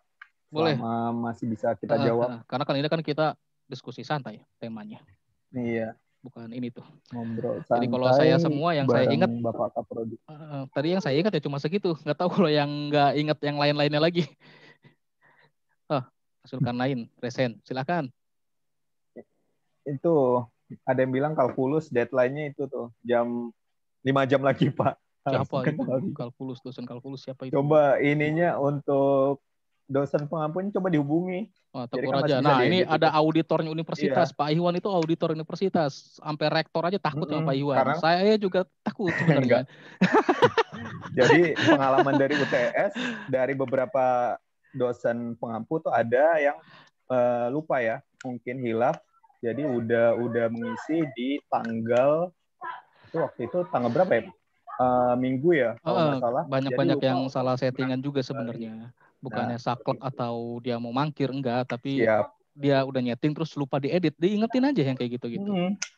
Dihubungi aja ke beliau di ini di screenshot Pak. Mohon bantu untuk penambahan deadline-nya. Karena dari universitas sudah jelas kan tanggal terakhir itu tanggal 3 Agustus jam 23.59. Kalkulus itu siapa nama dosen ya? Ibu Rima. Ya udah dihubungi saja beliau, nggak apa-apa.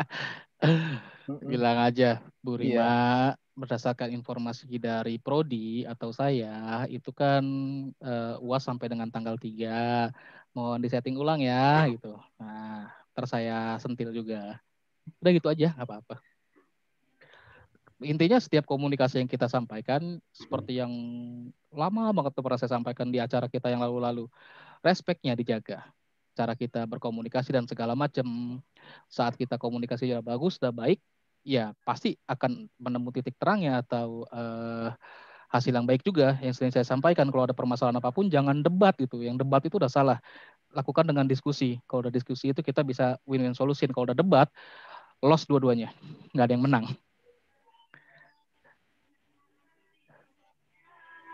ada lagi yang mau disampaikan? Oke ini ada Maba ini bertanya Pak. Maba lagi. Coba Silakan.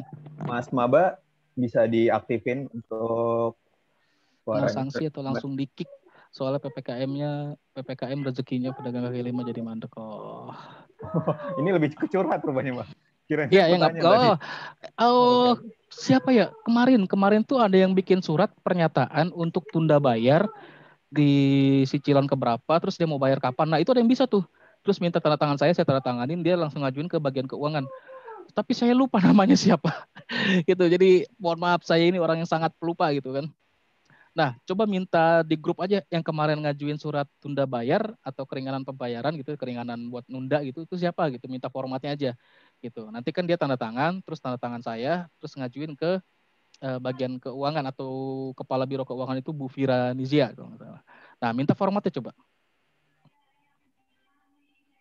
Ya Pak, saya belum Jadi bayar. Nggak, nggak langsung dikik kok, masa langsung dikik. enggak lah. Oke.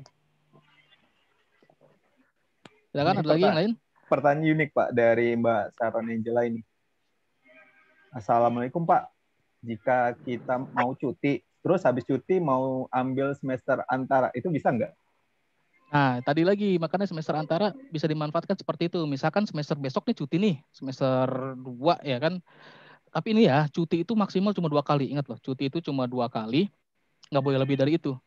Lebih dari itu, kuliahnya tetap dianggap aktif. Jadi kalau ada tagihan, tetap kehitung tagihannya. Kalau cuti kan tagihannya stop tuh. Yang penting kita bayar biaya cutinya.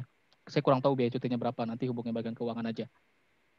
Nah, setelah cuti aktif lagi, ngejar ketinggalan uh, eh, SKS-nya atau mata kuliahnya bisa ngambil lewat semester-semester antara yang akan diadakan di antara semester genap ke ganjil setiap tahun akademiknya. Jadi kayak gitu ya.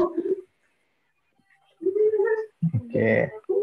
Itu dari Mas Firdaus, Mas Sinok Sinosegi itu ada melanjutkan pertanyaan tadi Pak yang terkait pembayar, penundaan pembayaran itu apakah berlaku oh, di semester antara? Semester antara sayangnya nggak berlaku.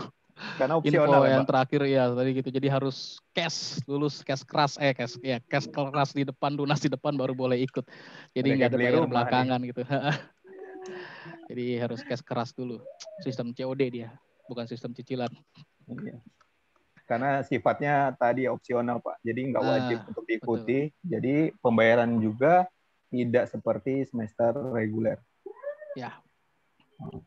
Jadi teman-teman nggak usah bingung mau semester antara atau enggak, balik lagi aja. Pengen yang reguler biasa silakan, mau ambil semester antara ya silakan gitu. Atau bisa kayak tadi tuh, ah semester berapa mau cuti nih satu semester, ambillah semester antara sekarang biar bisa cuti satu semester itu. Ada yang kayak gitu juga kok gitu. Jadi semester antara itu sebenarnya alternatif atau sedikit uh, solusi yang diberikan buat kemudahan tadi ya kalau misalnya ada yang ngulang, mau cuti dan segala macam gitu, mau ngejar ketinggalan bisa dari semester antara. Itu Mas Zulkarnain resen silakan. Iya. Semester antara. Oke, okay. ya. Mas Zul. Ya, Assalamualaikum warahmatullahi wabarakatuh. Salam sejahtera, Om Swastiastu. Ya. Waalaikumsalam. Izin bertanya, Pak. Boleh. Untuk Iya, untuk terkait akreditasi itu kapan bisa kita lihat, Pak ya? Oke, tadi sebenarnya udah saya jelasin panjang lebar ya. Terus apa lagi? Apa? Mengenai jaket alma mater.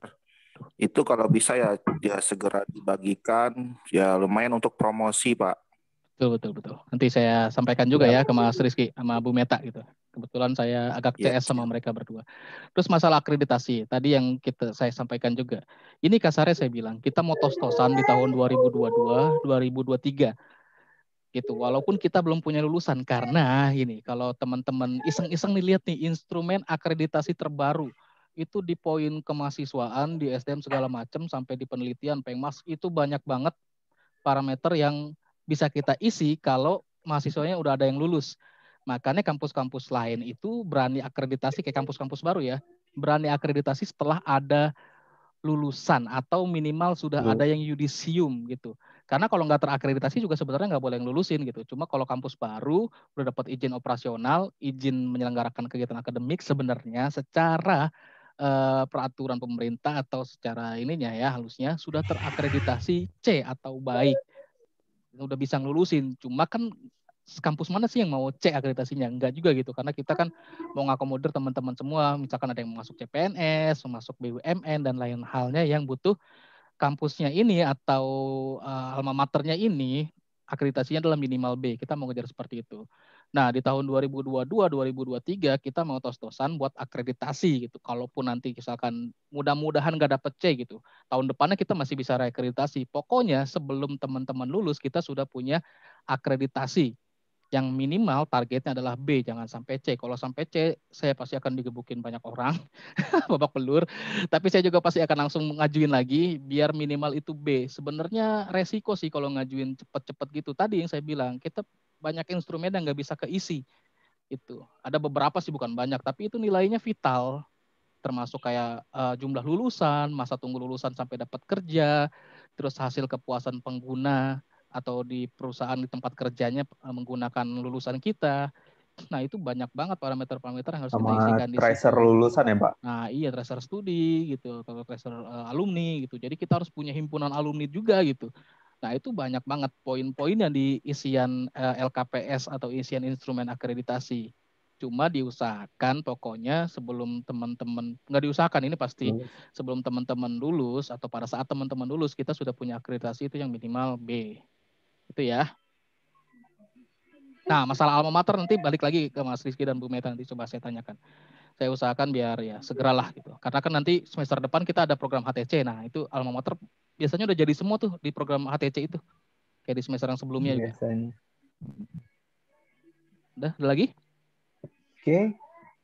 Baik, teman-teman yang lain. Oke, Selamat sore, Pak. Ya, sore. Silakan.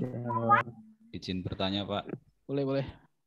Um, tapi mungkin agak uh, agak masih agak jauh gitu ya Pak. Tapi uh, saya ingin tahu sih sebenarnya gitu aja. Uh, karena ini belajar dari pengalaman ya Pak. Pengalaman yang sampai uh, saat ini kan kita sudah ada tugas-tugas dan ada UAS ya. Kemarin juga ada UTS. Nah itu yeah. kan bagi kita yang bekerja itu kan uh, kadang terbentur dengan manajemen waktu ya Pak ya. Mm. Nah, uh, pertanyaan saya itu uh, uh, memang ini masih jauh gitu. Uh, idealnya itu kita memikirkan uh, persiapan skripsi itu di semester berapa sih, Pak? Oke. Okay. Soalnya kan kalau kalau skripsi itu kan sampai beratus-ratus halaman mungkin ya banyak bab yeah. yang kita uh, mau pikirkan itu banyak bab yang mau kita susun. Nah itu kan kalau kita yang sudah bekerja itu kan mungkin uh, satu semester atau dua semester itu kurang mungkin ya Pak. Kalau dari ya. kemarin yang betul, betul. saya rasain setelah mengerjakan UTS, mengerjakan tugas, mengerjakan UAS itu sepertinya kalau dengan kapasitas pekerja seperti saya itu sepertinya dengan jangka dua satu sampai dua semester itu kurang Pak. Nah, jadi itu idealnya itu uh, dari semester berapa Pak kita mulai memikirkan ke situ terus kemudian uh, ada nggak di si dari universitas itu uh, ada pengarahan kan kemarin waktu pensaku itu kan informatika itu data science sama network engineering spesialis gitu ya pak ya. Uh. Nah gimana sih cara kita mau mau ngarah ke mana sih kita ini gitu itu tips-tipsnya itu seperti apa ya mungkin bisa berkenan berbagi begitu pak. Terima kasih pak. Oke, sip mantap nih pertanyaannya sudah iya. mulai menuju ke hasil. Uh, waktu kita acara ngobrol-ngobrol yang lalu pernah sedikit saya curhat ya masalah skripsi dan tesis gitu. Saya share ke teman-teman nih, uh, saya coba flashback aja. Waktu itu saya cuma ngerjain skripsi itu cuma tiga hari, tesis saya ngerjain cuma enam hari, dan pada saat tesis itu laptop saya sampai meledak. Itu cerita real gitu. Karena nonstop saya pakai buat analisa dan segala macam gitu kan. Dia sampai meledak bener-bener meledak gitu laptopnya. Konslet. Panas nih nggak mati-mati. Kenapa saya ngerjain kok segitu? Nyantai banget tuh, uh, selon banget gitu kan terlalu slow gitu. Karena waktu itu saya waktu mahasiswa S1 itu saya termasuk mahasiswa yang kerjaannya nyari duit mulu. Bisa dibilang salah satunya adalah joki skripsi. Pada saat skripsi bukan yang ngerjain skripsi, saya ngerjain skripsi orang. Karena kan lumayan. Ya kita nggak munafik, saya butuh uang waktu itu kan gitu. karena saya uh, memang harus mencari rezeki lain-lain lain-lain gitu kan udah tuh udah selesai deadline sidang terakhir saya baru ngerjain skripsi gitu tapi karena saya ada basic pengalaman tentang uh, nyari masalah ya nyari masalah gitu karena saya selalu bilang ke teman-teman ilmu komputer di informatika atau sistem informasi anak-anak ilmu komputer atau orang-orang ilmu komputer itu punya kerjaan kalau ada masalah kalau udah nggak ada masalah tamat riwayat yang gak ada kerjaan. Apa yang mau dikerjain? Apa yang mau dibikin? Gitu kan? Apa yang mau dijadiin riset buat nyelesain masalah? Nggak ada gitu. Nah, salah satu triknya pada saat kita bikin skripsi, tesis, atau penelitian gitu, kita nyari masalah nih. Nyari masalah. Kalau nggak ada masalah, kita bikin masalahnya gitu. Contohnya apa sih gini? Uh, bingung nentuin judulnya, bingung nentuin tema skripsinya. Kita cari jurnal atau publikasi skripsi orang, penelitian orang yang udah jadi, kita lakukan literatur review. Nah, ini nanti masalah ini nih akan ada di mata kuliah khusus di metodologi penelitian dan lain-lain gitu ya. Kita kumpulin semua hasil riset orang yang sudah dipublikasikan secara resmi gitu dan non valid ya. Kita cari celah-celahnya dari skripsi-skripsi itu atau dari penelitian itu. Kita gabungin, oke itu jadi penelitian kita. Kalau kita nggak ketemu masalahnya, digabungin aja skripsi metode-metodenya sampai kita dapetin satu hasil dari penggabungan metode itu atau perbandingan dari beberapa metode. Nah, itu kan boleh jadi tema penelitian, tema skripsi dan lain-lain. Malah itu udah masuk ke tesis lebih tinggi lagi dari skripsi kalau kita ngebandingin algoritma, kita analisis algoritma, analisis metode itu udah lebih tinggi dari skripsi. Skripsi itu tahapannya cuma sampai implementasi kelar. Tapi kalau tesis tahapannya dari analisa, implementasi, analisa lagi dan evaluasi itu. Nah, kalau kita bingung nanti kita akan nyari masalah gitu. Nah, untuk masalah itu yang nyari masalah ya masalah untuk mencari masalah itu di mata kuliah nanti ya jangan sekarang gitu karena ngomonginnya nggak cukup dua jam gitu buat nyari gitu atau bikin kita bisa tahu seperti itu nah terus untuk peminatan data science dan networking ini dulu alasannya kenapa saya bikin data science dan networking. Yang pertama untuk ngebedain dengan sistem informasi. Anak-anak informatika dengan anak-anak SI kita harus bedakan gitu. Dan trennya saya riset di peta okupasi artinya daya serap atau apa ya peluang kerja, kesempatan kerjanya dan distribusi dari informatika untuk kerjanya itu lebih banyak sekarang di pengolahan data dan jaringan. Jadi saya bikin itu peminatannya. Tapi teman-teman itu bukan dalam arti cuma fokus di situ, enggak. Programming tetap ada. Karena kita ngacu lagi ke dalamnya standar kompetensi uh, nasional ya SKKNI itu. Jadi kita ada standar uh, pendidikannya dulu nih. Ada yang namanya body of knowledge. Di body of knowledge itu banyak bidang ilmunya yang akan jadi kompetensi dari lulusan informatika, matematika, algoritma, uh, basis data gitu kan, sampai dengan yang sistem expert dan lain-lain itu ada semuanya. Cuma lebih fokus atau lebih instan sebagai ciri khasnya adalah data science dan networking itu. Nah, gimana untuk menentukan atau memilih yang mana? Balik lagi ini, teman-teman pengennya yang ke mana nih? Lebih condong ke mana dari penguasaannya, dari ketertarikannya, dan dari ngelihat segi peluang nanti kerjanya atau pengembangan karirnya di bagian networking atau data science. Nah, nanti balik lagi, silahkan aja mau ambil yang mana. Gitu. Nah, untuk ngerjain skripsi ini nanti bukan di semester 8. Kalau di informatika dari semester 5 tuh teman-teman sudah mulai skripsi. Jadi saya sampaikan seperti itu ya. Dari semester 5 itu teman-teman sudah punya dosen pembimbing yang nanti sudah mulai nentuin topik, belum judul, tapi topik atau tema penelitian yang udah mulai nyicil buat skripsi. Makanya nanti di semester 8 itu tuh e, kalau bisa sudah nggak skripsi lagi atau nggak ngerjain apa-apa, tinggal ngumpulin dokumentasinya, sidang, bikin laporan, sidang kelar atau kalau ada yang uh, pakai jalurnya, kan nanti jalurnya macam-macam nih. Ada yang jalurnya makalah, penelitian, atau publikasi. Yang mana yang diambil? Contoh ngambil publikasi. Dari hasil penelitian yang udah dilakukan, publikasinya dia tembus ke jurnal internasional bereputasi, Scopus, itu auto A sama saya. Nggak usah pakai sidang-sidangan lagi, udah A, sono lulus. Itu ya kalau yang publikasi. Tapi yang tadi kalau misalkan internasional bereputasi, kayak Scopus, Elsevier, terus ada lagi yang namanya uh, Thomson Reuters gitu ya. Jadi jurnal-jurnal internasional yang punya reputasi gitu. Kalau cuma jurnal-jurnal lokal, standarnya tetap akan ada proses sidang, review dan segala macam. Tapi kalau yang publikasinya sudah yang skalanya itu atau kelasnya itu, itu auto A sama saya. Udah nggak usah ngapa-ngapain lagi. Skripsi duduk manis, ntar tinggal nunggu wisuda gitu aja. Oke ya. Bagus sekali pertanyaan dan jawaban dari Pak Riyad ya Pak. Ada lagi? Ini Baik, tadi Pak, kalau nggak salah Mas Noto itu ada pertanyaan atau Raisen ya kalau nggak salah. Boleh, boleh. Karena kita udah mau jam 5 nih. Udah lumayan lama juga. Kering juga ya kita. Ayo Mas, Mas Noto, silakan. Bisa ditanyakan langsung ke Bapak Riyad. Ya, salah satu ketua kelas kita ini. Masih di mute, Mas Noto. Nah, Oke. Okay. Sip. Assalamualaikum warahmatullahi wabarakatuh. Waalaikumsalam. Selamat sore Bapak uh, semuanya dan teman-teman. Ya. Ini Pak, uh, tadi saya coba uh, mapping ya, ambil satu sampel. Saya, saya kan sekarang berada di semester 2. Artinya, eh, saya sekarang berada di semester genap. Kenapa? Kalau secara secara posisi sebetulnya berada semester di semester satu. Kalau dari angkatan pribadi saya. Nah, misal saya ngambil semester antara misalkan ngambil bahasa Inggris dengan beban SKS 2 SKS. Uh, di mana itu berada di semester 1 atau semester ganjil. Agak keputus-putus ya? Artinya jatah paketnya adalah 19 SKS. Um, putus. Oke, oke, saya udah nangkap sih.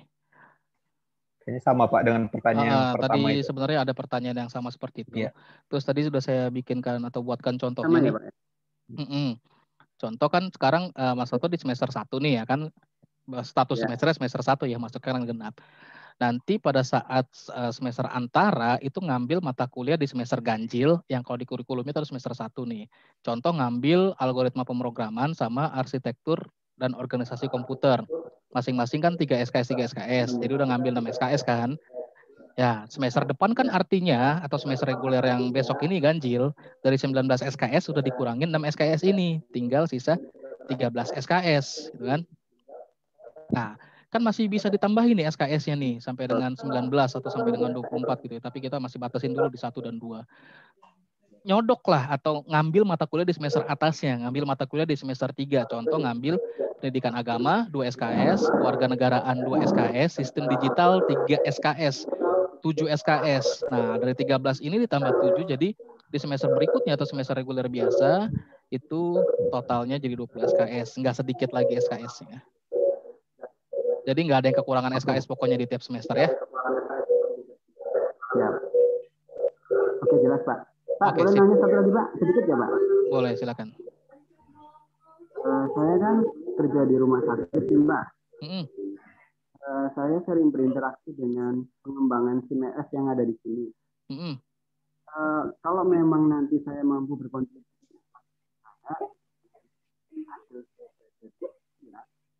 uh, putus-putus ya.